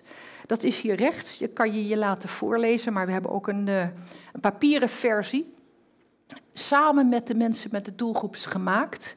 Er waren mensen in de Schilderswijk in eh, Den Haag, die hebben daar helemaal samen met hen hebben vragen geformuleerd en het heel eenvoudig gemaakt. En dat zit een heel begeleidingsdocument. Dat kan je samen met iemand anders invullen. En wat zeggen de mensen dan? Dit is makkelijker dan huursubsidie aanvragen. Dit zijn hele leuke vragen. Dat gaat over alles om je heen. Dus de mensen zelf vonden het fantastisch. En dat gaf ons het vertrouwen dat we op een goede weg zitten. Ook mensen met een taalprobleem hebben ook dromen. En het feit dat het op hun niveau, dat ze het mogen kunnen begrijpen en dat ze er met iemand over kunnen praten. En ook zij vinden, mogen aangeven, waar gaat, wat is voor jou nou belangrijk? Wat waar verlang je naar? Kunnen we je helpen dat je daar stapje voor stapje dichterbij komt? Dat is de hele manier waarop we proberen mensen dus veerkrachtiger te maken. Vaak als ze het spinnenweb hebben ingevuld, zeggen ze, oh, het geeft ze een overzicht over hun leven. Ze gaan het alleen al door dat spinnenweb te zien, zo krijgen ze, gaan ze het meer begrijpen. En dan ga je kijken van welke stapjes kan je zelf zetten. Nou, op deze manier zijn we aan het werken om dat kommetje te creëren, wat dus heel veel dingen, van heel veel dingen afhangt. En hoe meer iemand bezig is met wat hij zelf fijn en belangrijk vindt, hoe dieper het kommetje is en hoe stabieler de situatie. En juist in tijden van corona is dat gewoon hartstikke belangrijk. Dus ik hoop heel erg, je kunt met allerlei varianten van het spinnenweb aan de gang. Je kunt dat grote ingewikkelde spinnenweb nemen of het foldertje waar het heel eenvoudig is. Je kunt het je laten voorlezen, alles kan. Maar het gaat erom help mensen om een beetje eigen regie te pakken. En ook als je zorgverlener bent, zorg ook voor je eigen energie. Want dit gaat er niet alleen maar over die cliënt, dit gaat over ons allemaal. Dus daar wou ik het bij laten. Nou, netjes toch? Dankjewel. Dankjewel, uh, Machteld. Ja, dat gaat eigenlijk steeds beter. Wat een geweldig ingespeeld uh, duo zijn jullie, uh, Machteld en Marie. Super. Maar ja, dat mag ook wel na zeven keer. Hè? Zo is dat. Um, Ongetwijfeld zijn er uit de zaal uh, misschien vragen uh, van mensen die uh, Machtel naar aanleiding van haar verhaal iets wilden vragen over hoe ze gekomen is tot dit gespreksinstrument of iets over de eigen regie. Wie mag ik het woord geven? Niemand. En toen bleef het lekker. Ja, daar, daar, Misschien even je naam en de organisatie en dan de vraag. Marleen Weggemans, ik ben logopedist bij de GGD. En uh, ik heb niet echt een vraag, maar jullie hebben het ook heel erg over preventie. Dus ik weet niet of hier beleidsmakers uh, in de zaal zitten. Waarom wordt er niet meer geld geïnvesteerd in de preventieve logopedie? Om taalproblemen te voorkomen, of in ieder geval zo spoedig mogelijk te signaleren. En om dan dus ook laaggeletterdheid te voorkomen. Nou, het probleem is dat ik dat, die vraag niet kan beantwoorden, maar misschien mensen in de zaal wel. Of Maurice. ik, ik weet dat preventie, weet je, preventie gaat echt wel het grote aandachtspunt worden. En dan is het voorlopig van uh, anders eten en bewegen, maar juist dit, dit, taalvraagstuk moet nog veel meer aandacht krijgen. Het is fundamenteel. Dus ik ben er eens flink uh, voor, maar ik beïnvloed dat helaas niet. Maurice, heb jij daar nog een antwoord op? Volgens mij kan je aangezet worden. Ja, ja daar heb ik wel een antwoord op. we hebben wat we zien is dat het taalprobleem met name heel vaak benaderd wordt vanuit het lezen en schrijven. Dus dat is echt een verschil. Want logopedie is natuurlijk ook een groot deel spreken. En wat we nu proberen, wat we, dat is wel een initiatief wat we in hebben gediend. En dat is, dan moeten we misschien maar even de contacten uitwisselen. Is dat we, uh, je ziet dat er een taalontwikkelingsstoornis, de TOS, die wordt wel vaak bij jongeren gesignaleerd, maar niet bij volwassenen. Totdat we iemand had, hadden en die kwam in de groepen met NT1'ers en die zei, volgens mij wat ik bij uh, zie, dat daar ook.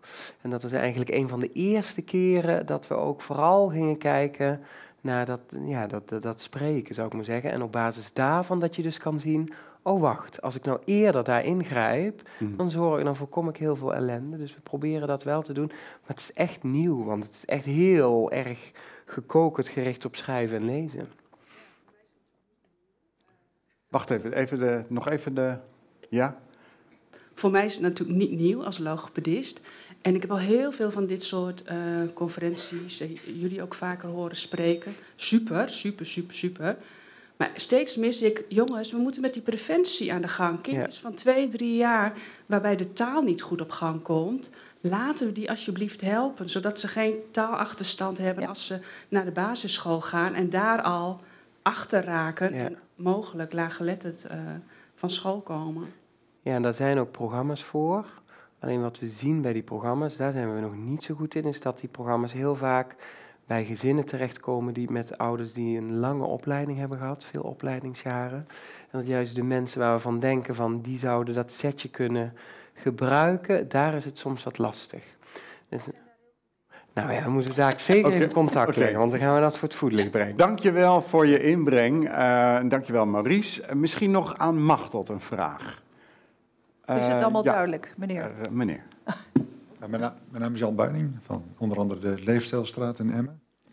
Uh, in mijn bubbel wordt, uh, is de naam die het meest genoemd wordt, is, is uw naam. uh, en dat zeg ik niet uit vriendelijkheid, maar dat is werkelijk zo.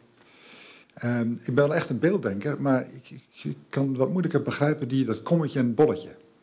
Ik heb zelf eigenlijk het idee dat als je de lijn ziet als onze leefomgeving, dat het juist een grote opgave voor mensen is om uh, tegen de natuur in vaak, um, om een uphill fight te, te, te creëren.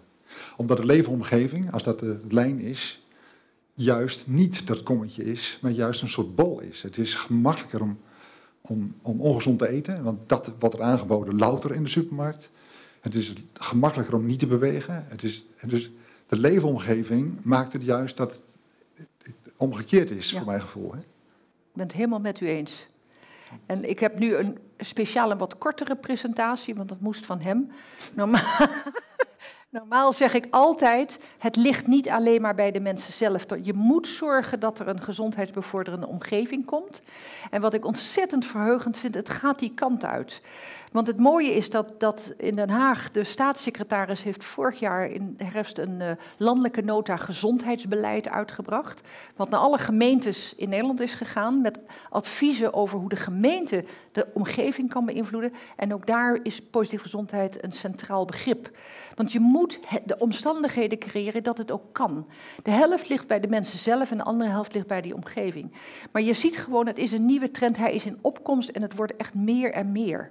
Maar ik ben het helemaal met u eens. Maar het ene denken is honderden jaren oud en het andere denken is ook wetenschappelijk, maar dat komt uit de ecologie. En dat is pas net aan het ontwikkelen. Het staat nog in de kinderschoenen. Maar daar moet, dat gaat wel steeds meer worden. En ik denk dus dat zelf dat de hele COVID-problematiek eruit voortkomt, is dat we totaal uit dat evenwicht geraakt zijn. We zijn allemaal vervreemd van de omgeving, het gaat helemaal verkeerd hoe het allemaal ingericht is. En COVID maakt ons bewust dat we dat moeten gaan veranderen. En daar maak ik me hard voor en steeds meer mensen maken zich daar hard voor. Dus ik hoop wat dat betreft, dus ik ben niet blij met COVID, maar ik denk wel dat het een wakkermaker is van jongens, je moet echt dingen gaan aanpassen. Maar er wordt aan gewerkt, maar het is beginnend.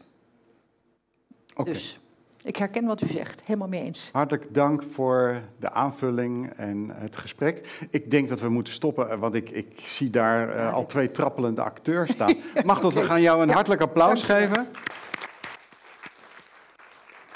En ik denk dat het uh, ook best wel bijzonder is, Machtel zei het al, uh, 70 en dan nog zo vitaal hier uh, op de bühne.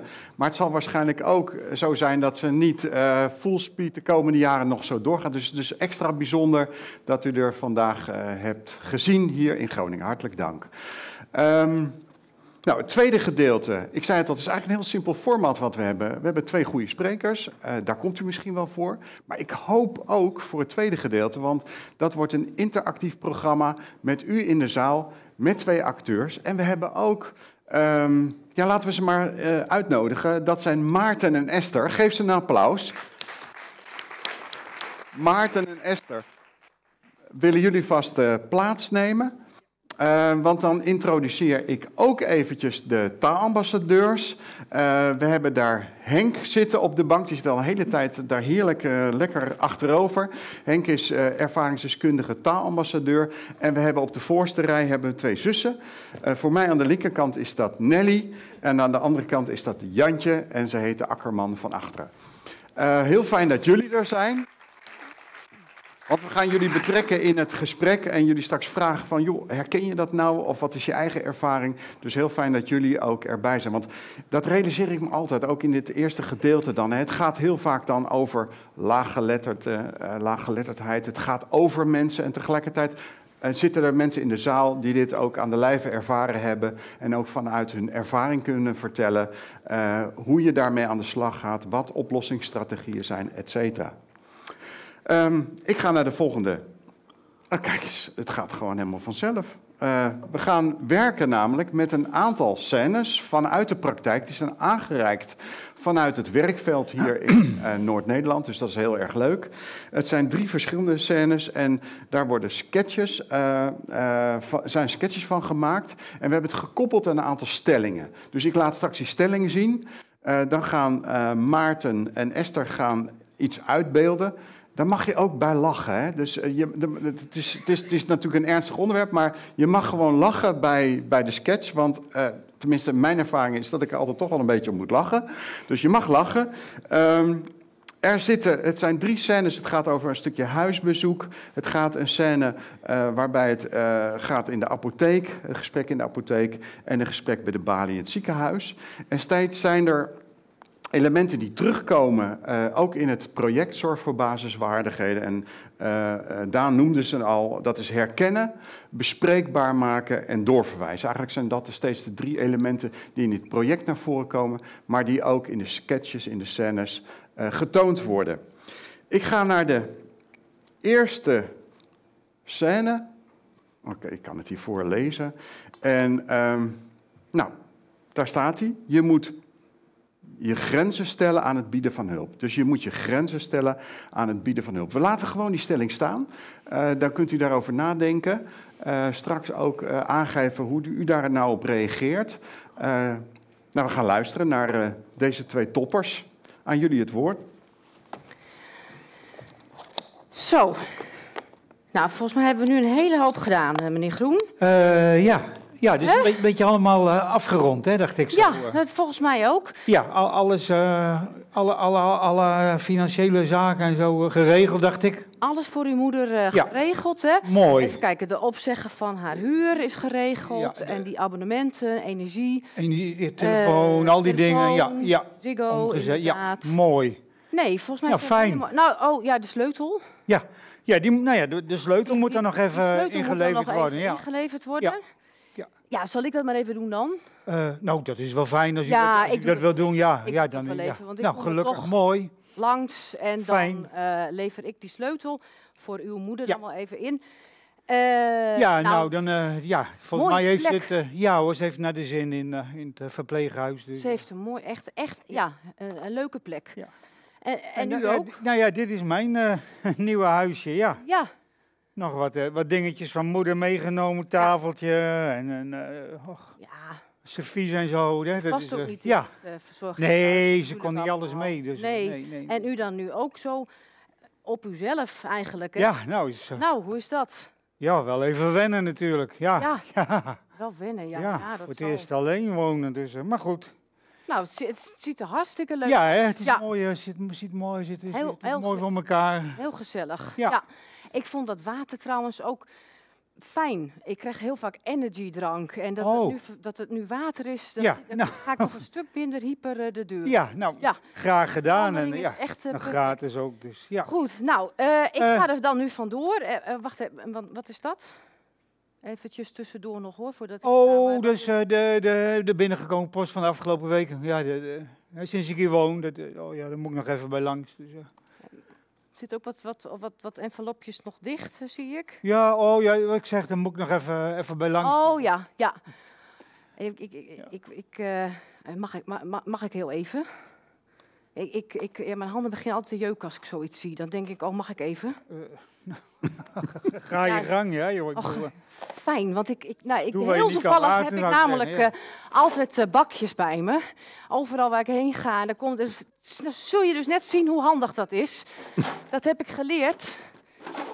Ehm, misschien kun- kunt u ook één tas doen. Dat zijn hele handige bakjes. En dat heb ik van iemand. Dat is van Marie Kondo. Dat is een eh opruim mevrouw. Kent u die? nou, nooit van gehoord. moet Nooit van gehoord? Marie Kondo niet, die woont in Japan. Nee, oh, oh een- dat is ook een- ver weg. In ja, een blue nee. zone woont Ja. ze. Ja, die vrouw, die, die is echt al, nou, die is al 134 hoor inmiddels. Want die eet zo gezond, die U doet wil alles. ze zo hebben? Of? Ja hoor, leg ze maar op een rij.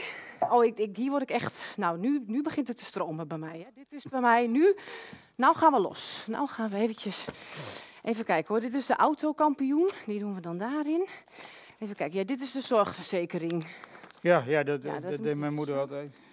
Zo, dit is, eh, ja, dit is de consumentenbond. Dit is, eh, Oh ja, dat deed mijn ja, moeder dit ook is de altijd. bank. Oh, deed mijn moeder altijd, ja. Gemeente, hè? Ja, ja. Heel belangrijk, hè? Geme- gemeente, kan van dat alles. Mijn moeder altijd. Is deze noordelijke belasting? Ik kan even- moet ook even. Deed mijn moeder ook altijd. Oh, die hoort daar. Kunt u die even in dat bakje? De huismeesters. Ja, oh, dit- die ja, wel ja, oh, ja, oh, oh ja. De NS, ja, dat is dan ook weer zoiets. Dan denk ik, doe die maar in overig. Oh ja, dit, ja. Eh, abonnement. hier, mijn moeder ook. Oh ja, belasting. Dat is mijn eh, blue zone, zeg maar. Oh. Maar daar word ik niet blij van. gaat Dat deed mijn moeder ook altijd. kijken. Nou, dit is dan weer heel aardig van u dat u deze dan eh, zo. Ja, ja, ja, ja. Kijk, zo even. Ja, dan Dus hebben we nog weer de verzorgers. Ja, en dit is dan even, even kijken. Dit is een retourbox. Ja. Oh, dat is een retourbox. Oh, ja. Dat is wel belangrijk. Ik weet niet wat daarin me. Nee, zo- Retour. Zal mijn moeder even vragen. Zo. Even kijken. Die daarin. Oh, nou, dit is dan deze gezin. Dus krantjes. Even kijken. Nee, dit is allemaal, dit is allemaal hupsakee. Nou, dan zal ik dit wel even in de oud papier, even dan, want ik heb geen bakje meer. Zal ik dit wel even Oh, ja, dat kan ik zelf wel, joh. Dat, dat doe ik zelf wel. zelf. Oud papier, ja. dat- Ja, ja, ja, ja, ja, ja. Ja. Ja, geef me. nou oké. Goed, dan eh, hebben we dit zo allemaal gedaan. Hè, hè. Zo, en wat, wat, wat deed uw moeder nou altijd? Wat mijn moeder altijd deed. Ja? Nou, eh, niet naar me luisteren. En Dat, eh, ik ken er meer die dat niet doen. Dus eh, ja. Nou, goed. Heel graag gedaan. Ja. En dan zie ik u volgende week. gaan we dan even... Oh, ik, ik- dan gaan we verder. Ja, dit is nog niet... nee, dit is nog niet, dit is nog niet af. Nou, fijne dag hoor. Ik lever hem even in. Zie ik u volgende week weer. Tot volgende week. Ja. ja. Zo.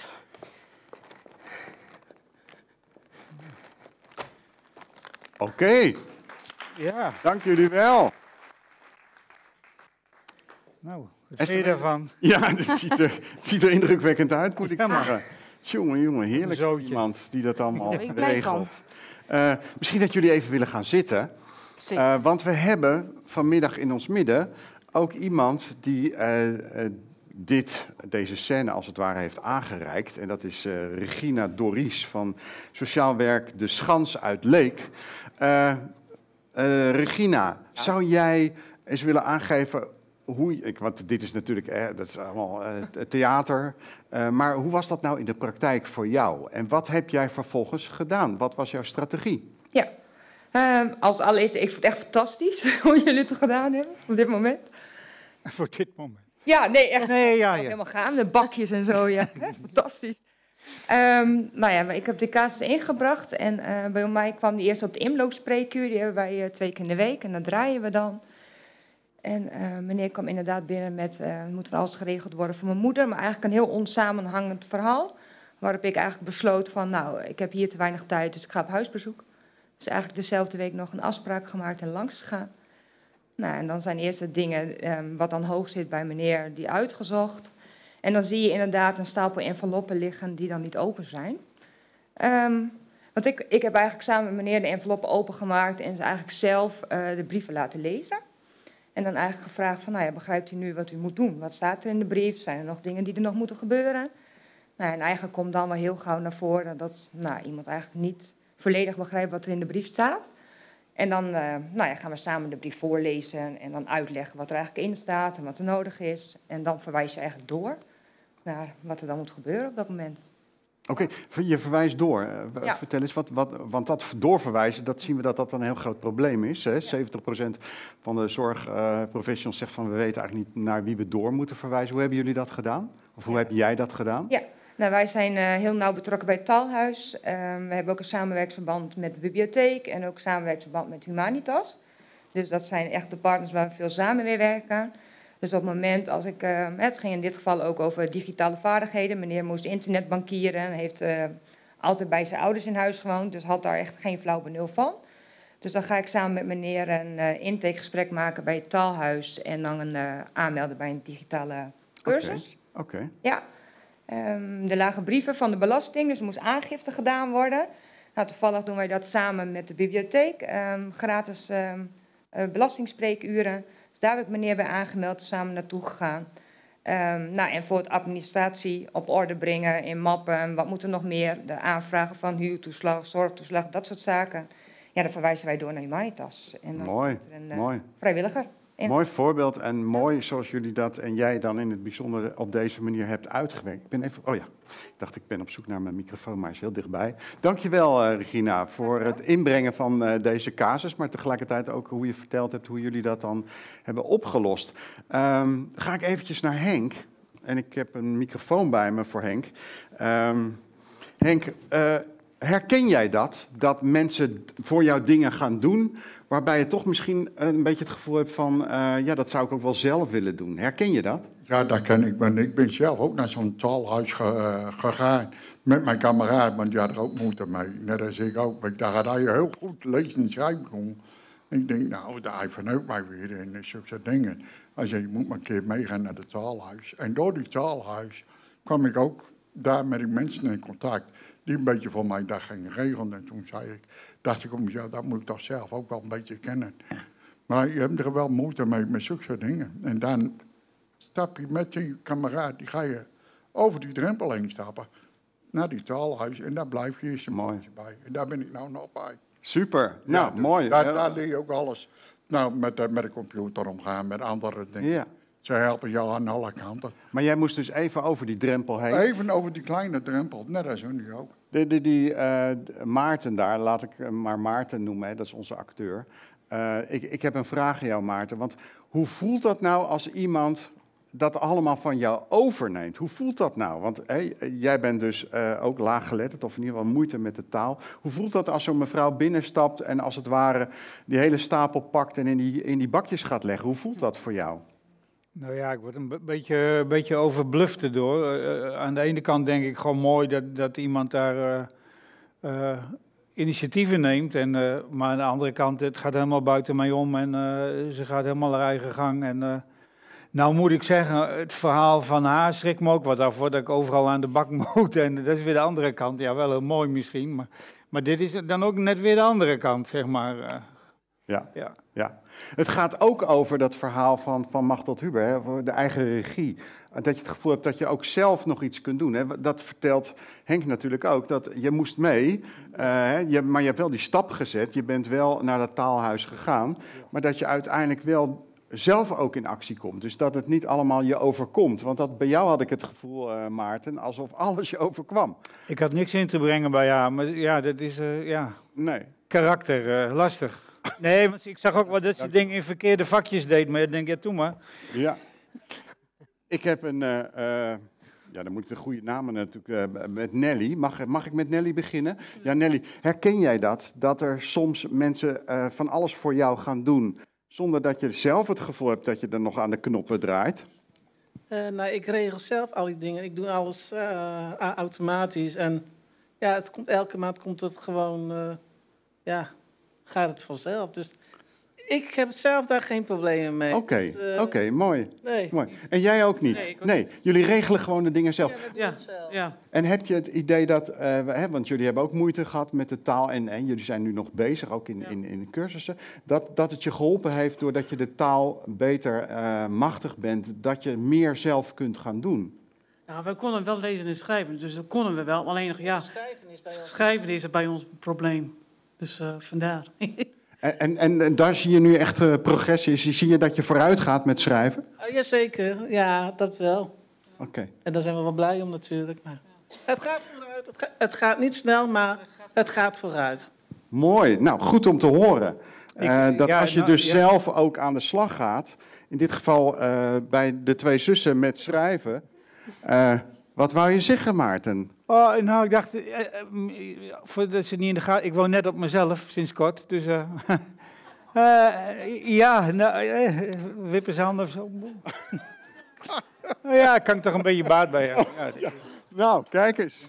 Was dit een aanzoek bijna, dan? Maarten? Eh, beste mensen, we gaan eh, door naar de tweede eh, scène. En dan ga ik even naar de volgende. Oh ja, dan moet eerst alle rommel natuurlijk opgeruimd worden. Ja. Of mag dat blijven liggen allemaal? Nou, laat dat maar. Al die bakjes. Zullen we de bakjes laten liggen? Ja. Nou, la- Kom volgende keer wel weer. Ja. Deze doe ik even iets naar achteren. Zo.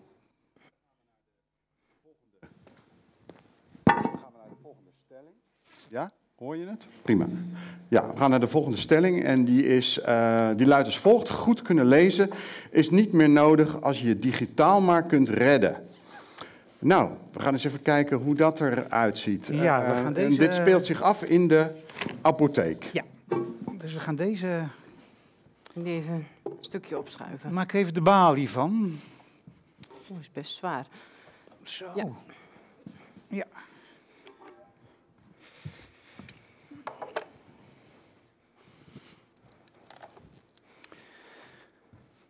Zo. Eh, ik heb de medicijnen voor u. Ja. Ehm, is voor uitwendig gebruik, hè? dat weet u. Ja? Ja. ja. Er zitten eh, heel veel mensen... Ik zal het even laten zien hoor, want... eh, er zit een bijsluiter bij, dan kan u het allemaal, eh, heel veel mensen lezen hem niet, maar het is altijd wel handig hoor, om even, dan kun je het rustig thuis ook nog even nalezen. Het is voor uitwendig gebruik, zeg ik. Voor, voor de uitwendig... Voor ja, de- voor uitwendig. Het is een breed spectrum antibiotica, dus dan weet u dat ook met Eh, kijk, nou, ik kan u rustig even het- doornemen. Eh, bij langdurig gebruik moet u wel eh, oppakken voor, oppassen voor resistentie. Dat is even belangrijk om te weten. Dus, Is dat ah, erg? Nou, dan kan u daar wel last van krijgen. Ja, dus dan moet u niet... maar Maar dit niet- is voor, de, voor op het plekje, toch? Ja, dit is voor op het plekje inderdaad. Eenmaal, tweemaal per dag aanbrengen. Op, op, erop, erop smeren. ja, gewoon Ja. erop. ja hoor, ja, Nou, uitwendig ik zoals ik wel. zei. En eh, ja, oké. Nou, en eh, ja, het kan zijn eh, dat er dus een allergische reactie ontstaat op de toedieningsplaats. Maar goed, dan eh, moet u even Is dat, stoppen eh, met... is dat erg? nou, dan moet u gewoon weer even naar de dokter komen of wat ook maar. U kunt het rustig even nalezen. Ja? Ja, oké. Ja, had u vragen? Nee? Dit, dit is voor erop. Dat is voor de... Ja, dat is... Ja. Gewoon voorop en dan Ja, ja, twee ja, keer, ja. Twee keer op een dag erop. Ja, ja oké. Dan snap ik het wel. U vindt het wat lastig, hè? Zo. Nou, ik vind vooral... Ik, ja, ik ik ben, moeite vindt, ja, met, nee, ik, eh, ik zie. U vindt contact wat lastig. Dan heb ik voor u wel een hele mooie tip. Eh, komt Nee, ik heb, ik, heb, Ja, doe ik hem er even bij je. Weet u, eh, ik heb meer kijk, daar, daar met- staat een hele mooie automaat. En die, Oh. die is sinds kort in werking. En dan kan u gewoon, zonder dat u contact hoeft te, hoeft te hebben, kan u gewoon even het receptje ophalen. Oh. Krijgt u thuis een mailtje met een code, kunt u daar invoeren, geboortedatum. Er staat een duidelijke uitleg even Ik, bij. ik en- snap het denk ik wel. Ja, ja, mooi. Dag. Bedankt. Nou, ja. Ja, je hebt altijd uh, wat types bij die uh, naar verkeerde been uit bed, denk ik. Geeft niet.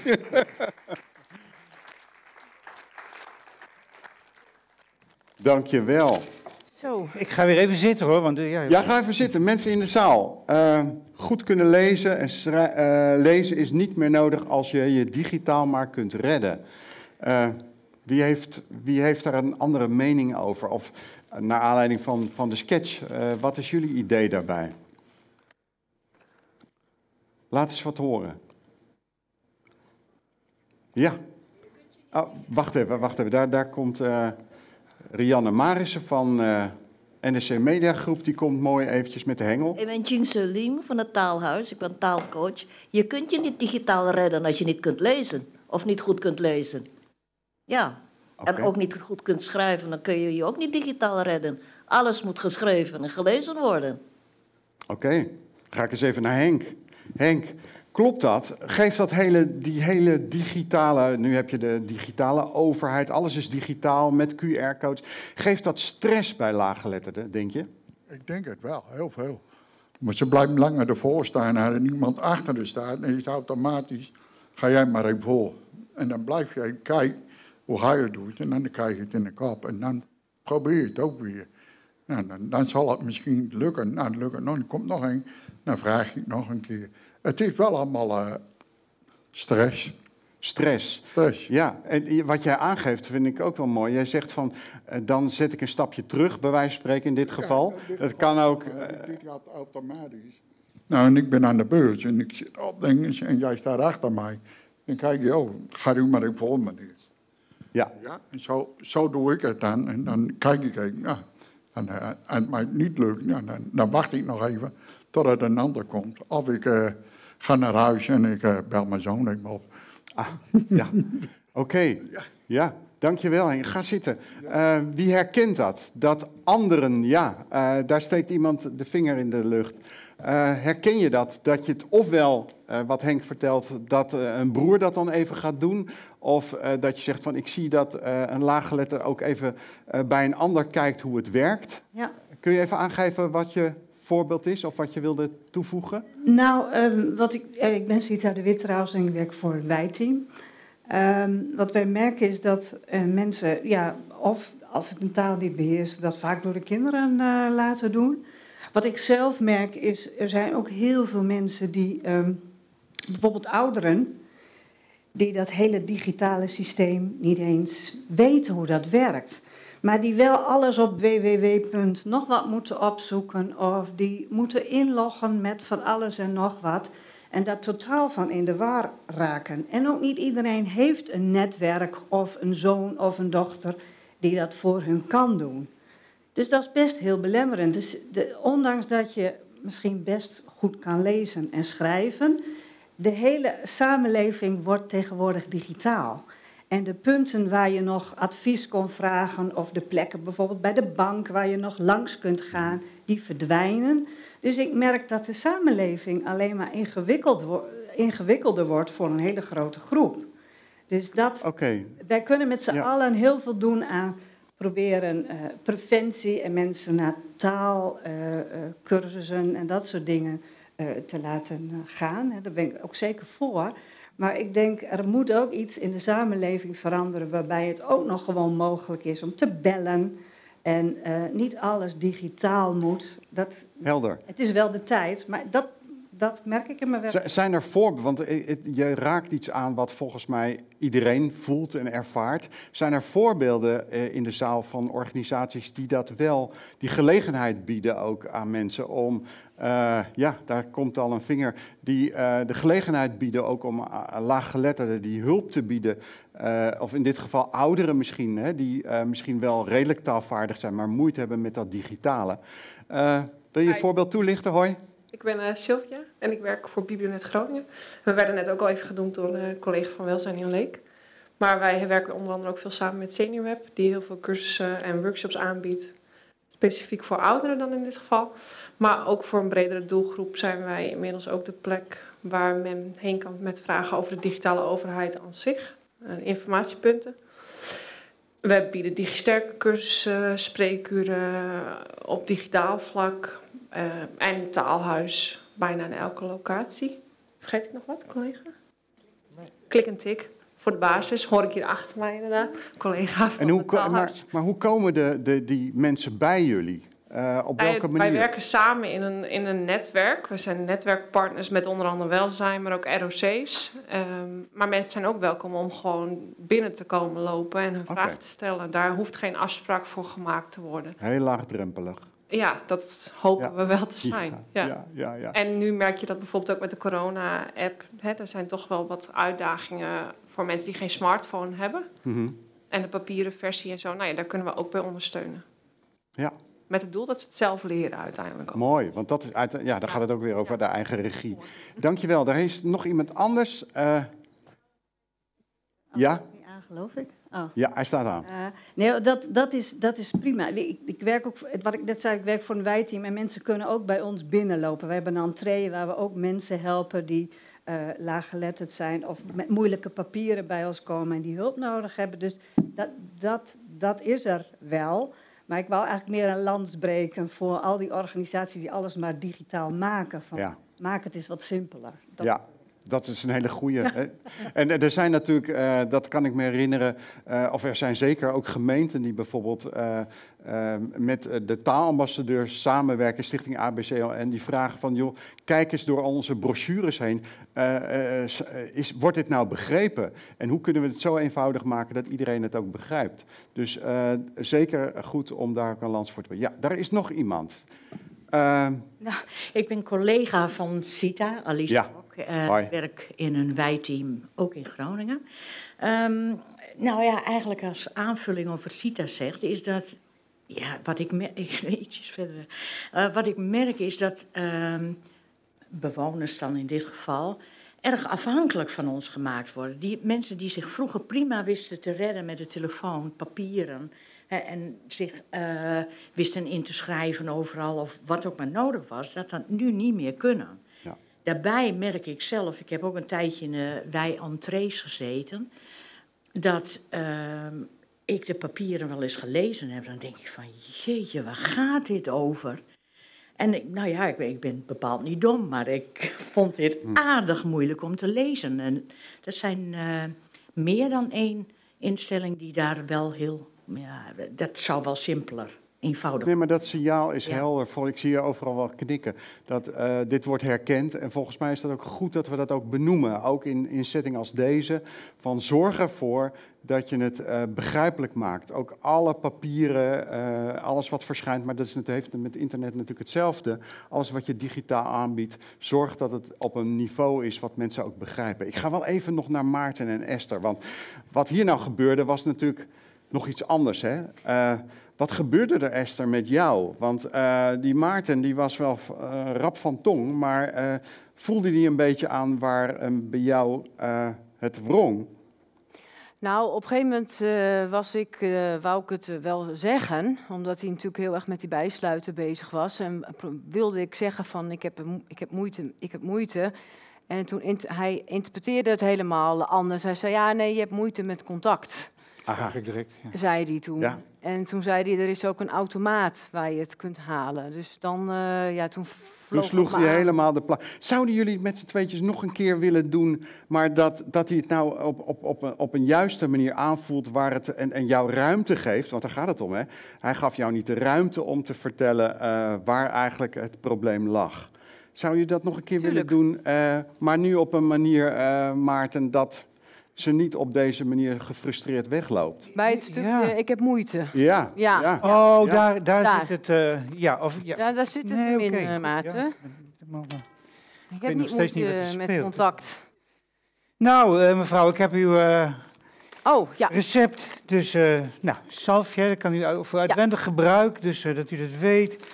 Ehm, ik weet niet of u vragen heeft. Er zit een bijsluiter bij, hè? Eh, Voor uitwendig Ja, vaak lezen ze bijsluiter niet, mensen. Maar het is heel handig. Ik zal het even Ja. laten zien. Het is een hele voor de- uitgebreide, hele uitgebreide Oh, dat is het zalfje. Dat Dat is het zalfje, ja. Uitwendig gebruik nogmaals. erop. Ja, breed spectrum eh, antibiotica. En eh, Ja. nou, kijk, En dan gaat het voor de, op het plekje... eh, ja. precies. Nou, hier handig om even door te nemen. Nog een paar belangrijke dingetjes. Hè. Extra voorzichtig zijn met risico van resistentie. Dan moeten we even stoppen met is dat, gebruiken. Is, dat, is het erg? Hm? Dat, dat er van die resistentie... nou ja, nee, dan, wat ik zeg, dan, dan merkt u wel, u krijgt u uitslag of iets dergelijks en dan moet u even stoppen. Dus dat is niet zo'n punt. Oh. Nou, dus vooral op de toedieningsplaats, hè, waar u dan eventueel uitslag kan krijgen. nou, ik, ik, ik moet het... Ja, weet, nou, ik, ik heb ik zie, ja, ik moeite zie, met... Nou, de, ja, u heeft moeite, hè? Ja. Maar, ik heb, nou hiermee heb ik, uh, dit, dit, dat, ik kan dat niet, uh, ik begrijp dat niet allemaal. Uh. Oh, u, oh, u begrijpt, oh, u begrijpt het niet allemaal? Nee. Nee, oh, oh. Oh, dat is het. Ach, u begrijpt het niet allemaal. Nee. Nou, nou weet ja, u, ik weet dat dit erop moet. Ja. Op het plekje. Ja, uitwendig. Dat is het.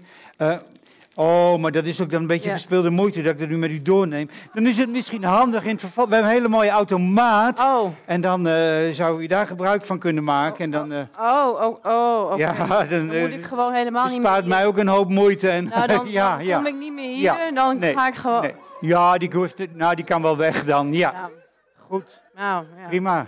Dag. Ja. Nou. Nou. Blijf even staan. Henk, ik- Dit was niet het goede voorbeeld, Hans, hè? nee, eh, Ja, gaan dat weten. wat hij ervan vindt. Nou, ik vond dit met die voorstuk, met die eh, beschrijving, dat vond ik niet zo kloppen. Je wordt er niet zo behandeld. Je vrij- ze zegt, geef het al aan als al moeite heeft met lezen en schrijven. Kijk, en hij gaat doorpraten. Hij geeft haar geen kans om uit te praten waar haar probleem is. Juist. Kijk, die, die, dat interesseert haar wel, maar niet uit laten praten. Als je moeite hebt met lezen en schrijven, wilt u mij dat in voorlezen. Dat wou ze zeggen. Ja, Prima. klopt helemaal, Prima. hoor. Nee, En, die- eh, dat en heeft hij toch nog niet voelt je heel, eh, Ja. je, je, dus het voelt je heel vervelend hè, als die ander dan ook nog zegt van, oh, nou, dan, dan, dan laat maar zitten. Ja, ja, nou, dat, dat voel- kan ik voelen, ja. ja. Excuus, eh, Henk, voor mijn... Henk, ga, ga, ga zitten. Eh, we komen straks nog even terug. Eh, eh, jullie mogen nog even zitten, want we gaan zo naar de derde scène. Ja. Maar ik wilde nog even iets aan de zussen vragen. Want we hadden het net, Nelly, over dat digitale aspect. Hè? Het feit dat alles tegenwoordig digitaal is, allemaal via de computer. En eh, Henk die zei dat dat geeft stress. Herken jij dat? Dat dat stress geeft, alles wat maar via de computer moet. En, en via QR-codes, bedenk het allemaal maar. Ja, nou, ik heb, elke maand heb ik er wel last van, omdat ik moet eh, elke maand eh, mijn loonstrookje overmaken naar de sociale dienst. En dan gaat er met de DigiD en al die dingen. Nou, kom iedere keer tot de helft en de rest doet mijn neefje. Dus omdat het gewoon voor mij te moeilijk is om, ja, want je moet alles kopiëren. En dus dat, daar ben ik nog niet, eh, Nee. ik nog niet sterk in. Maar dat betekent, dat, iemand zei dat net, dat- dat netwerk is belangrijk. Want jij zegt nu je neef, eh je had het over een eh, maat, een vriend. Dus dat netwerk is heel erg belangrijk. Als je nou geen netwerk zou hebben, of een heel klein netwerk, hoe los je dit dan op? Heb je daar een idee eh, van? Ja, dat was wel een idee. Dan moest ik elke maand eh, naar de sociale dienst om een papiertje in te leveren. Want je kan het namelijk niet opsturen, maar wel persoonlijk afgeven. Oké, oké. Ja. Ja, dat, is, dat zou dan een optie kunnen zijn. Oké, ja, gezien de tijd, dat is dan ja, jammer. Hè. We zouden hier rustig met die acteurs nog een hele middag bezig kunnen zijn. Maar we hebben, we hebben er nog twee. Hè. Eentje en straks een uitsmijter. Ik ga, dankjewel, ik ga naar de, de derde scène. En, en dan heb ik mijn klikkertje namelijk nodig. Oh ja, die ligt daar. Oh, jij staat al eh, helemaal in de stelling. Zeker, ja. We gaan naar stelling 3 en dat is het volgende. Eh, je moet niet te voorzichtig zijn met het bevragen van mensen. Dus je moet niet te voorzichtig zijn met het bevragen van mensen. Nou, eh, we gaan eens even zien wat jullie Ben ik daar ook eh. Ik ben helemaal niet zien. voorzichtig. Nou, Oh, yes. Yes. Ik heb er één. Daar komt er één. Yes, yes, yes. Binnen een week. Vorige week nog een cursus gehad hoe te herkennen en prompt komt er eentje. Mooi man. Nou, kom maar door. Ja, komt u maar. Ja, goeiedag. Ja, ho. Nou, Ik moest nog even bij u langskomen, eh naar aanleiding van het onderzoek. Ik begreep dat ik nog eh ja, u krijgt van mij vragenlijst of een vragenlijst. meekreeg. Nou, ja. niet, niet zenuwachtig worden. Vragenlijst. Ja. Of die die even in wil vullen. Ja. Ja, nee. En voor het onderzoek, hè, dan volgende week. Ja, ja, ja. ja, Ja, Juist. Dat begreep ik, ja. ja. Nou, Ja. nou weet ik wel. eh, nou weet ik wel wat u gaat zeggen. Ik weet het. Maar Ik heb in ieder geval geen geslachtsziekte. ja, dat wou ik even kwijt. Nou, dat was mijn volgende vraag. Ja, nee, ik zou nee, wel... Nee, nee, ja, dit is nee. een veel lastiger onderwerp dan Nou, ik- geslachtsziektes. Ik weet niet... Vele malen lastiger. Ik heb er geen moeite mee hoor, maar Nee, nou, collega's, ja. Ik zou het fijn vinden als ik formulier meekrijg, dan kan ik de volgende Juist, mee- ja, meekrijgen en dan thuis invullen zeker. Ja, die ken ik. Die, die- ik ken het nou allemaal. Maar u moet het toch echt even hier invullen. Nou, en zeg nou maar, u hoeft zich helemaal niet te schamen, want ik zie het zo. Dus 1 en 1 is laaggeletterd.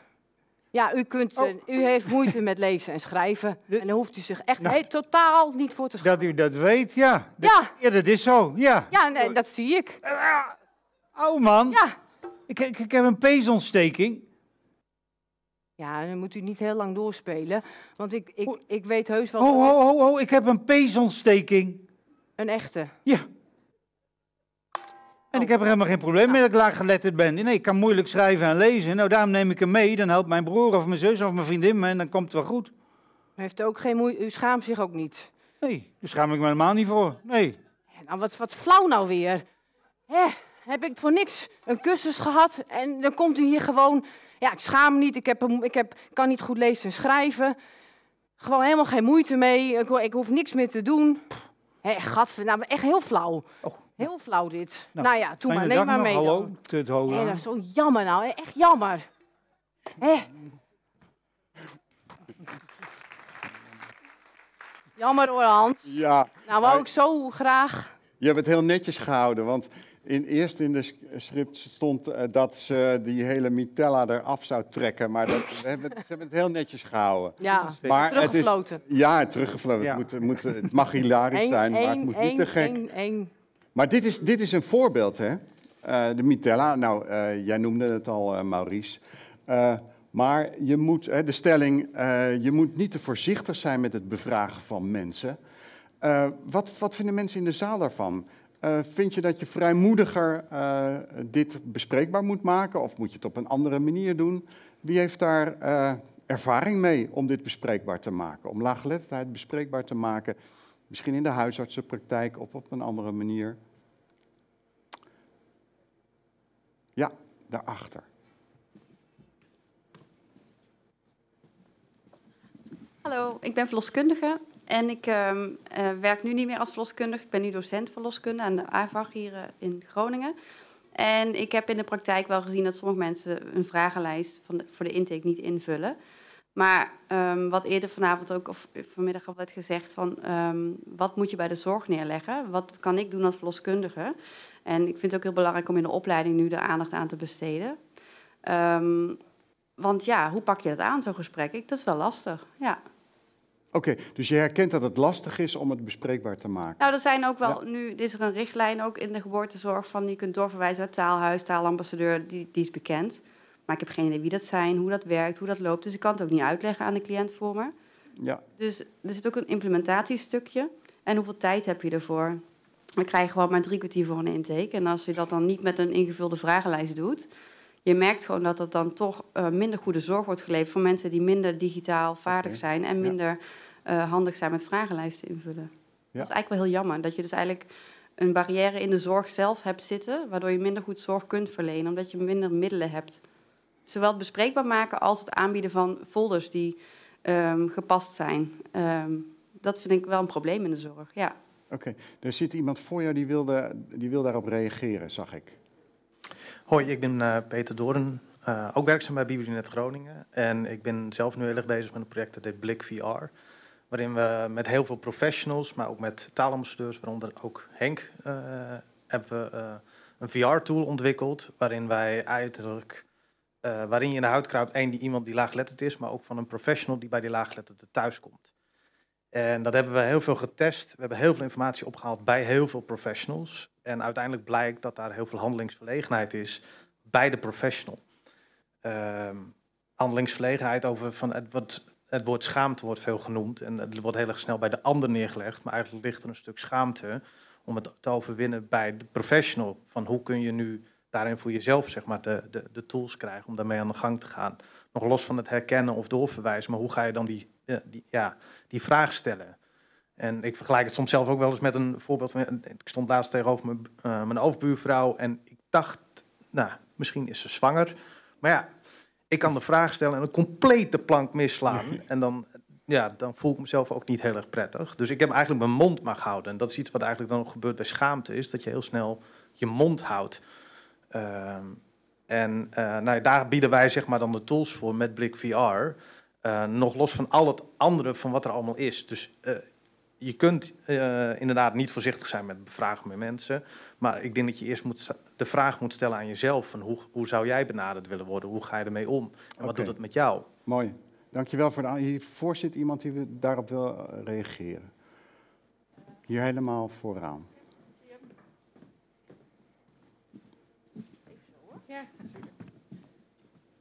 Goedemiddag, ik ben Gabrielle. Ik zit hier als buddy van het uh, wijteam Selbert, maar ik ben uh, opgeleid als psychomotorisch therapeut en mijn eindstage was met mensen met niet aangeboren hersenletsel.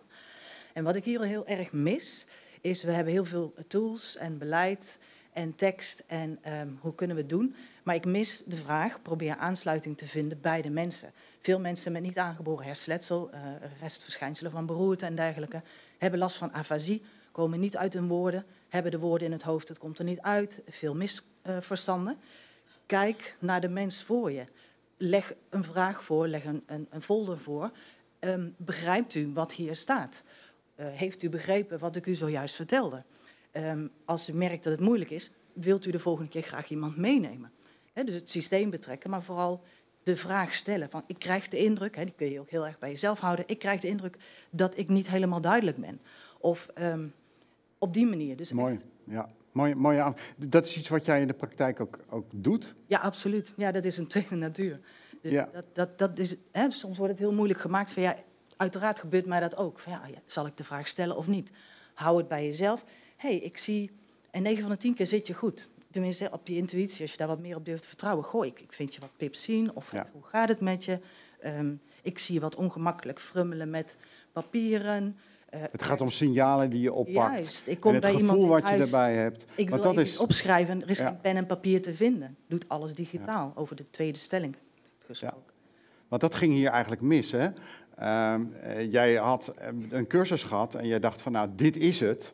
Ja. Dus eh, er was ook geen, geen, geen mogelijkheid meer om echt eh, rustig naar de persoon te nee, kijken. nee, ik was overenthousiast eh in mijn... eh, Ja, want, eh, zag, want je zag eigenlijk maar één ding en dat was die mitella. ja, en toen dacht ik, eh, ik, kan, eh, ik, ik weet het, hij, is, eh, hij kan niet lezen en schrijven. Ja, Maar dan was dat even net wat anders eh, in elkaar. ja. Ja, ja. En dan, dit is de mitella. Dan loop ik Ja. nog eventjes eh, naar Henk. Want eh, er zijn waarschijnlijk allerlei manieren om het te camoufleren dat je, eh, dat je laaggeletterd bent. Eh, zou jij voorbeelden kunnen noemen? Of misschien heb je zelf wel eh, dingen bedacht waar, om het maar niet kenbaar te maken aan je omgeving dat je laaggeletterd bent. Of heb je die ervaring niet? Ik heb niet zoveel ervaring daarin. Maar wel, als je die papier... Mijn zusje krijgt altijd papier thuis. Die moet mijn zware invullen, dan zit ik erbij. En dan staat er allemaal... Dan heb je eerst de vraag 1, 2, 3, 4, 5, 6, 7, 8, 9. Dan kom je weer verder. Dan kom je weer op dezelfde vraag kom je weer uit. Ja. Dus mijn zwager, ja, die, zijn, die kent wel goed lezen en schrijven. Hij zei, nou, die vul ik, dat vul ik, die hele stuk vul ik helemaal niet meer in. Ik vul alleen maar de voorstukje in en verder niks meer. De rest doet de ziekenhuis zelf maar. Want ik zeg zo duidelijk genoeg, alle vragen bijna hetzelfde. Ja. Zei, dan wil ik niet eh mijzelf gek zijn. En mijn zusje deed er dan ook moeite met lezen en schrijven. Om die ook voor gek te zijn. En ze, want ze lezen samen mee. Hij leest het even voor, dan moet zij ook weer voorlezen. En, en daar zo en zo. Om uit te leggen hoe dat is. En dan zei mijn zusje, ik ben dezelfde vraag haast. Ja. Maar omdat dezelfde papier naast ben. Helder, Dus, daar- eh, ja, dat, daar zit ook fout in die ziekenhuis en alles. da- dus daar is het. Dankjewel. E- Even naar, ehm, naar jullie. Eh, herkennen jullie dat? Dat je zegt van, ehm, eh, dit was dan het voorbeeld van de mitella. Eh, zijn er andere dingen waardoor als je zegt, ik heb moeite met lezen en schrijven... wat, Leesbril vergeten. eh, lees, Is dat ook iets wat je zelf eh, wel gebruikt hebt Nee, nee, als nee, voorbeeld? Nee, dat- nee, dat, nee. Maar het zijn er wel voorbeelden van. Dus, eh, Ja. ja. En als we formulieren thuis kijken en er staat iets van wat ik niet begrijp, dan je hebt nu Google, eh, je spreekt in en krijgt de vertaling wel, dan weet ik waar ik het eh, over heb. Dus dat, zo doe ik het. Ja. Dus je, je leert ook allemaal eh, trucjes, als het ware, om eh, ervoor te zorgen dat je toch eh, bij kan eh, lopen. Ja. Ja. ja. Oké, oké. Dankjewel. Ik, ik kijk nog even naar, ehm, naar de twee acteurs, want ehm, dit had ook anders gekund, hè? Zeker. Eh, jij had ook eh, ja, invoelender kunnen... En, en hè, ja, hij heeft nou zijn mitella weer afgedaan. Dit is is dat een kleine simpel. moeite? Heel Met een ja. peesontsteking, ja. Nou, Kijk, daar is hij alweer. Daar is hij alweer. Ja. Eh, zou, zou je het nog eventjes willen doen? Overigens is dit ingebracht, deze eh, casus, door eh huisartsenpraktijk in Assen. Die konden er niet bij zijn. Maar daar was dit ook een voorbeeld van eh, dat iemand met een mitella kwam. En het bleek dat die wel laaggeletterd was. En, Ja, maar dat was hij ook, hè? Maar hij, had, hij schaamde zich er helemaal niet voor. Ja, Hij ja. had al lang bedacht hoe hij dat zou doen. Ja, ja. Maar misschien moeten we hem dan nu met een wat andere insteek nog even Doe dat, laten doe zien. dat Ja, even. ja, Om, om Ja. even die En voorzichtige benadering. eh, aanname van... eh, Nee, prima. Goed. Goedemiddag. Ja, Ja, goedemiddag. hallo. eh. U komt nog even het formulier ophalen? ja, ja, ik moest nog even bij u langs voor een formulier om eh, nog in te vullen. Ja, Klopt. Ja, voor het vervolgonderzoek, hè, Ja, volgende ja, week. dat ja, klopt. Dus- Nou, eh, Albert van de Velde. Ja, Ja, nou, dan is dit uw eh formulier, Mooi, of u dat even ja. in wil vullen. Ja. Nou, dan, eh, ja, die, eh, nou, dat neem ik dan wel even mee naar huis. Oh ja, ja, ja. Nou, kijk, ehm, het zou heel fijn zijn als u dat eh, nu kan invullen. Want eh, ja, norm- normaliter eh, vullen mensen het nu in en dan kan ja, u maar, meteen... eh, maar u ziet, eh, ja. dus dat is even Ja, dat- lastig. ja, dat- dat, dat- gaat even niet. Dus, nee, nou, ik kan, u, ik kan u wel helpen, natuurlijk. Maar, oh, ja, ja. Nou ja, want is het, is het begrijpelijk voor u als u deze lijst ziet? Denkt u dan van, nou, dit, dit is een... nou, ja, nou vind ik wel wat lastig. Zo'n lijst, ja. Dat zie nou, niet 1, 2, 3, Nee, dat ik dat allemaal meteen Nee. weet dan hoor. Nee, dat... eh, Want het zou eh, natuurlijk kunnen dat. eh, ja, dat zou natuurlijk kunnen dat u. eh, een geslachtsziekte. Nee hoor, nee, nee, nee. nee. Het zou natuurlijk kunnen dat. Het zou, het zou kunnen dat, dat u niet kunt. of lastig, moeite.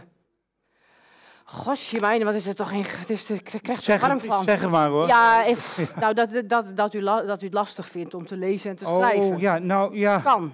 Dat kan. Ik zeg niet dat het zo is. Het kan. Eh, ja, nou, dat, dat, dat klopt wel een beetje. Dat ik het wel lastig vind. Oh, Toch om, wel, hè? Ja, ja, ik had ja. al zo'n gevoel. Ja. Ja. nou ja, goed, als je dan toch door heeft. Zo, ja, dat, Zou u dat wel doen met een peesontsteking? Eh, nou, had hem om, omdat ik eh, oh, toch wel, hè? dacht, dan kon ik hem... Had er al een beetje op gehoopt? Ja, nou ja, nee, maar, ja eh, Nou, we toch... eh, maar nu je erover begint, denk ik, dan moet ik er ook maar eerlijk in zijn. En, Ja. en u zegt ook, ik kan u helpen, dus dan zou ik dat wel fijn vinden. Ja hoor, zeker. Ja. Ja. Geef ik u meteen even een, een taal... Nee, ik geef u geen folder mee. Dat is niet handig. Nee, ik ga u even vertellen over het taalhuis. Als u dat wilt, natuurlijk. Eh, taalhuis? Ja, straks. Eerst gaan we dit... Ja, la- ja, maar, ja, u gaat nou al- wel ja, ik heb, ja, wat, ja. ik heb wat dingen gehoord. Kost me wel ik- moeite hoor, omdat Ja, ik bedoel, ik breng dit al nou... ongemakkelijk ja, ik vind al heel wat dat ik dit vertel, dus eh, Nou, ja, ja. Ja, la- Ik vind het fantastisch, maar ja, je ziet... gaat het wel Ja. moeilijk voor. Lastig je hoor. ziet eh, jongen, hè, jongen, jongen, hoe ja. lastig dat is. Ik, we hebben, eh, bij een andere taalconferentie hebben we wel eens, eh, hè, hebben jullie ook scène gespeeld van, wat is nou de eerste zin? Wat is nou het eerste wat je gaat zeggen? En wat jij net, eh, sorry, je naam vergeten, maar wat jij terecht aangeeft van, het is zo belangrijk dat je de, dat je de persoon ziet. Hè, eh, ik, ik begreep ook van huisartsen die zeggen van, ja, het mooiste is als je al een relatie hebt met iemand, want dan is het veel makkelijker. Want als je iemand helemaal niet kent en dan deze vraag moet stellen, is dat natuurlijk super lastig. Jij kende deze meneer. Nou ja, precies. Nee, en je bent dan toch bang dat je iemand beledigt. Ja, Dat, voel- dat, dat, eh, dus dan, ja, dan denk je, hoe ga je dat nou doen? ja, ja. Toch? Ja, dat heb ik wel. Herkenbaar, hè? Ja. En tegelijkertijd is het wel belangrijk dat je gewoon die eerste Ja, stap zet. en dat klopte dus. Hè. dus eh, Ja, ja. In zijn geval. Ja, en terwijl het, zijn maar dat kan ik alleen maar vanuit mezelf spreken natuurlijk. De- Ik zie, ik zie heel erg het ongemak. En ik ben zelf ergens wel, wel- achteraf wel opgelucht dat het ter sprake is gekomen. eh, persoonlijk. In mijn rol als eh laaggeletterde. Ik denk, nou, dus dat lucht mij ook wel op. Ja. Ik weet niet hoe dat voor jou zou zijn, eh, Henk. eh. ja. Kom ermee. Met, met, met die opluchting, dan, dan ben je eruit. Ja. Dat- Dat is net, net wat je zegt, kom maar, kom maar. Dat is die drempel al waar je komt. Nou ja, precies. Die drempel die moet je net even hebben. En dan geef je het aan, ik heb moeite met lezen en schrijven. Ja, want die- Zoals u mij helpen kan met Ja. papier invullen. Dan kan je er makkelijker mee Er komen. staan Ja. misschien wel hele moeilijke vragen in, Ja. waar ik niet uit kan komen. Ja. En dan, Ja. Klopt. dan ben je er alweer heel ver. Terecht. Dus het helpt. eh, Maurice. Ja, goed. We- dit, dit- ik vertelde in, in, eh, in het verhaal al dat, dat ik mocht, en het is echt mogen, 30 mensen interviewen die hè, een, een taaltraject volgen. Want al jarenlang heb ik contact met die mensen en kijk ik van wat voor hen nou prettig is. En het was echt heel bijzonder, want het ging over bejegening, dat onderzoek. Het was ontzettend bijzonder dat vrijwel, en daarom was vond ik je bijdrage prachtig, omdat al die mensen zeiden ook dat ze het eigenlijk niet zo extreem vervelend vonden als er naar gevraagd werd in een Nee. veilige setting. Er was niemand die mij vertelde, ja, volgens mij één van de dertig, die zei nee, ik wil het er niet over hebben, maar was echt één van de dertig. Maar die anderen zeiden allemaal nee, was prima. Het was een veilige setting, het was één op één, het was ook logisch, want ik snapte het formulier ook niet, dus het was ook niet te doen. Ehm, dus dit, en daar, had, dat, dat- daar kwamen wij net ook wel op, het, het, hoe vervelend om te zeggen, maar je ziet dus dat het probleem bij ons als beroepskracht of vrijwilliger ligt Ja. om het eh, aan te kaarten. En het probleem ligt dan heel vaak niet hè, bij degene die daar zit, want het is als een opluchting werd het ervaren. Wacht daar, daar ja, we gaan iets over maar dat maakt niet uit. Die paar minuutjes. Eh, daar is iemand die... Sorry, wat? Oh, ja, daar komt Rianne. Ja, mevrouw eh, daar in het midden. Ik ben Ankie Benjamins, ik ben taalhuiscoördinator in Assen. Eh, dus de setting eh, deze, die, eh, nou, die herken ik wel. Maar wat ik dan die mevrouw hoor zeggen, of Esther hoor zeggen, van nou, oh, heel vervelend voor je, ik zal je helpen. Zal ik je even een, naar het taalhuis? Ik denk, ja, is dat al gelijk het moment? Kijk, ik denk dat mensen komen in de praktijk. Nou, als je nog niet bekend bent, dan kom je er vaker. En volgens mij hebben ze bij de huisartsenpraktijken in Assen momenteel toch de mogelijkheid om in het systeem een vinkje aan te zetten. Dat kom je de volgende keer weer, dan ku- kunnen ze er rekening mee houden. Want ik denk als je daar de eerste keer gelijk mee geconfronteerd wordt, dat dat helemaal niet goed Ik schrok daarvan Ja. zelf. Ja. Zo van, hoe, nou, ga je, nou is het meteen heel veel. Ja, precies. Dus ik denk ook inderdaad, het gaat om de relatie. En nou, je hebt het eerst aangegeven. En ik denk dat het dan, vanaf dat punt ga je verder bouwen. mooie en daar duur je misschien gewoon wel een half jaar over... om dan eens een keertje eh, naar het taalhuis door te verwijzen. Maar ik denk, nou ja, het is gewoon... Ja, je wil zo graag, hè? Ja. Je, je wil zo graag. En je denkt, oh, ik, ik zie allemaal mogelijkheden. Maar nee, eerst Maar de tijd, eh, je moet het dus ook de tijd geven en, en investeren in die relatie, terecht. Eh, nog een... Daan wilde wat, sorry. Eh, eerst die mevrouw en dan mag Daan. Ja. Excuus, kleine aanvulling. Die ene persoon van de 30 die zei: Ik wil het er niet over hebben. Die gaat later misschien, Ja. een volgende gelegenheid, toch uiteindelijk wel ermee te werken. Oké. Ja. Zo is het ook gebeurd bij die persoon. Ja. Dankjewel. Eh, eh, sorry, ik had het niet gezien, eh, Daan. Nee, maar- goed, ik zit in je dode hoek. Dus, eh, nee, ik werd ook wel even getriggerd door eh, wat, eh wat Machteld natuurlijk in haar presentatie had, namelijk die twee piramides. Namelijk nu is het, de zorg natuurlijk een heel groot stuk. En uiteindelijk moet je dat omdraaien en zorgen dat er een veel groter middenveld komt. Dus het moet volgens mij ook niet helemaal een kwestie worden van de zorgprofessionals die het allemaal oplossen. Maar volgens mij moet je juist die groep die daar om die mensen heen zit, en die ook wat makkelijker dat gesprek kunnen voeren, omdat ze ook de mensen beter kennen. Nou, Gerald zit achter in de zaal, die met 058 samen sterk bijvoorbeeld heel erg makkelijk op een gegeven moment wel bepaalde dingen ook ter discussie kan stellen. Juist omdat hij eerst gaat sporten en bewegen met mensen en dan komen de problemen daarna komen vanzelf wel. Alleen daar is in, de, in, in het systeem is voor dat soort initiatieven weer heel weinig ruimte. Hè? Dus, dus het moet ofwel de formele zorg moet het oplossen of mensen moeten het zelf oplossen. En het zou dus ook mooi zijn als we de komende tijd ook wat meer ruimte creëren voor die Ja. initiatieven die daartussenin zitten. Ja, ja. Mooi, mooie aanvulling. En tegelijkertijd hebben we ooit wel eens ook in een eerdere sessie uh, over gesproken, uh, waarbij jullie een sketch hebben laten zien van uh, dat de omgeving van mensen het soms ook in stand houden. Ik bedoel, als je altijd familie hebt of een oom of een tante die meegaat naar het ziekenhuis of de papieren invult, het kan ook zo zijn dat iemand je activeert en stimuleert om ook die eerste stappen te zetten, om zelf aan je ontwikkeling te werken. Er is daar nog, en dat is dan gelijk de laatste, als jullie het goed vinden. Oh, zo, ik heb er, oh, ik heb er nu twee. Oh, uh, begin, mag jij beginnen? Oké. Okay. Um, ik ben Marian Beltman. Ik ben dorpsondersteuner bij Stichting Wedden Dat Lukt. En wij zijn eigenlijk zo'n stichting die daar net tussenin Oké. Okay. Want wij werken met uh, vrijwilligers. Um, ik ga erheen als dorpsondersteuner. Ik probeer contact op te bouwen en te kijken wat voor problemen er zijn. En daarna probeer ik het op te lossen, of met vrijwilligers of met professionals. En uh, wat ik zo net wou vertellen is, ik had een keer een meneer, daar was er nog een uh, jongeman. En hij ik, ik, kwam daar en ik denk, oh, hij moest een formulier invullen.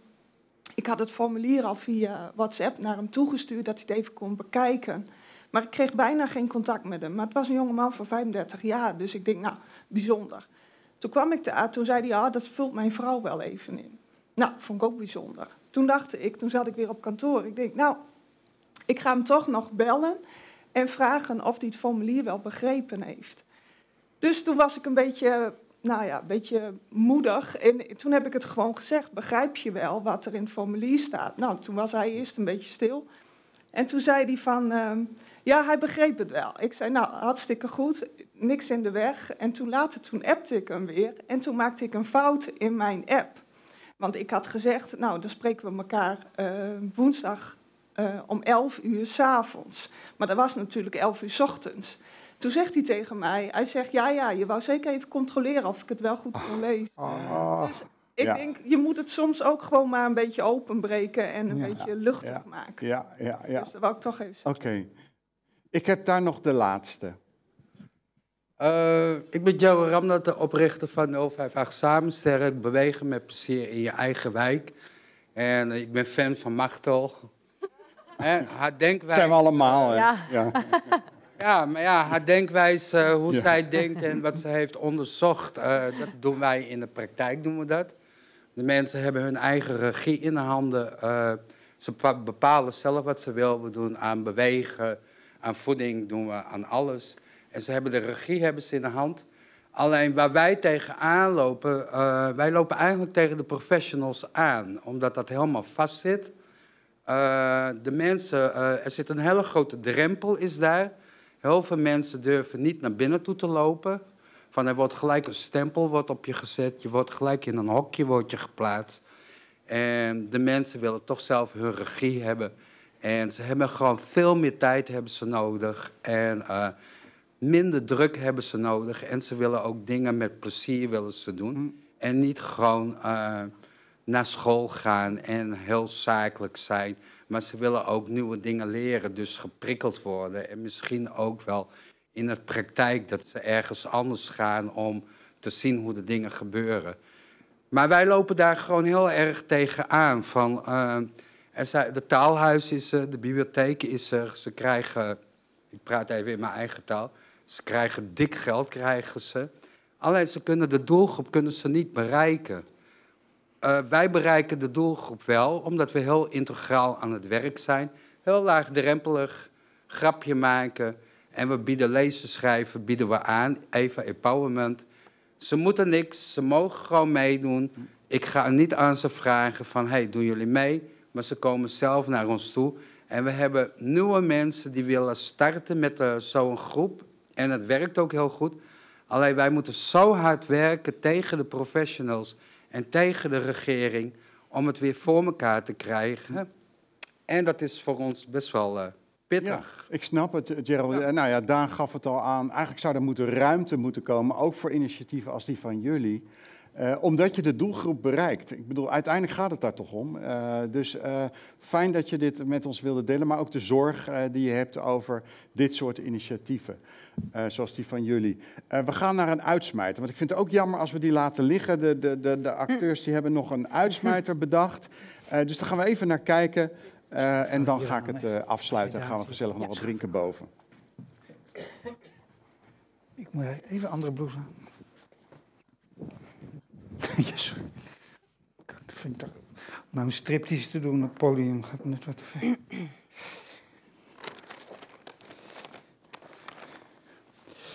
Zo.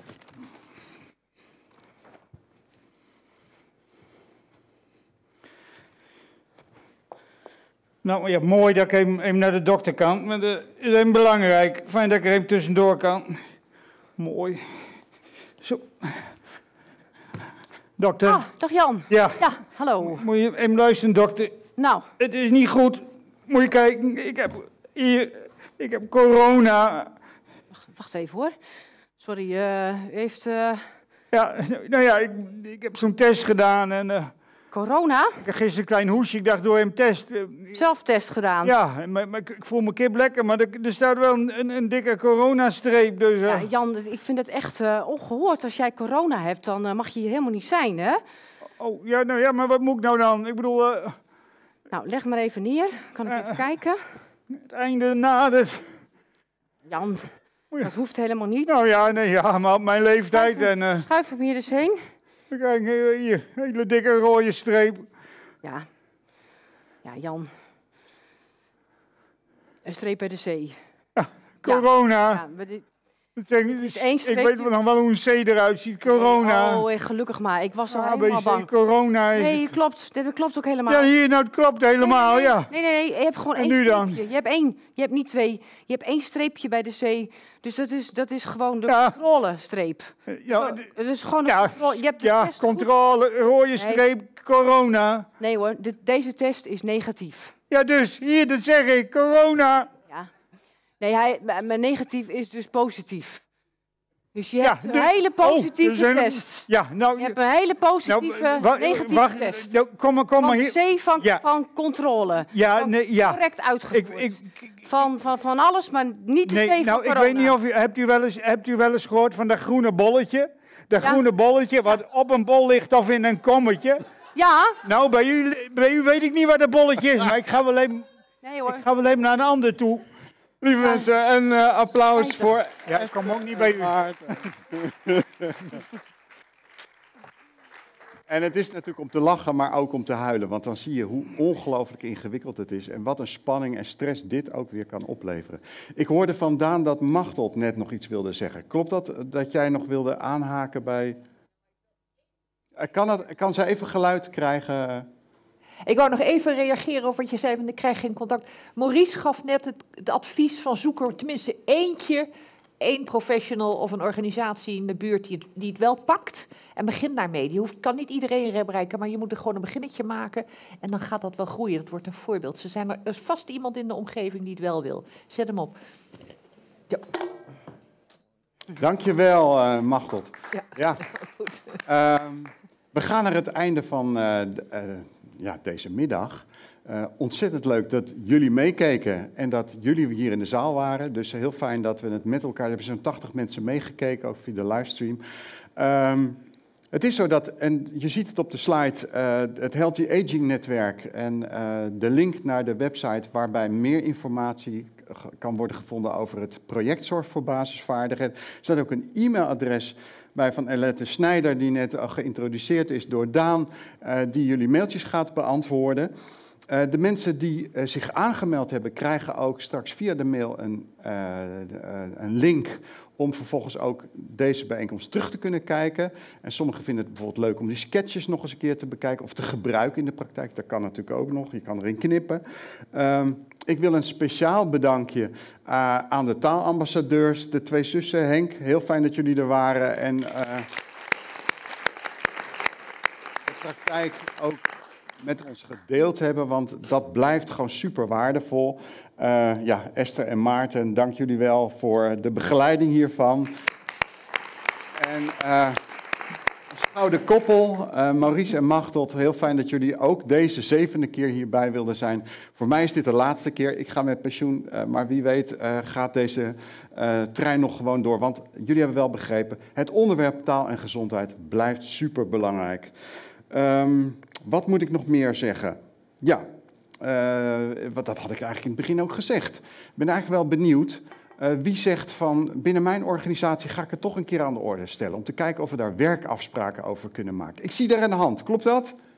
Ja, zijn er nog meer handen van mensen die zeggen, nou wij gaan in onze uh, organisatie hier eens over nadenken. Uh, ja, daar zie ik nog een hand en nog een hand.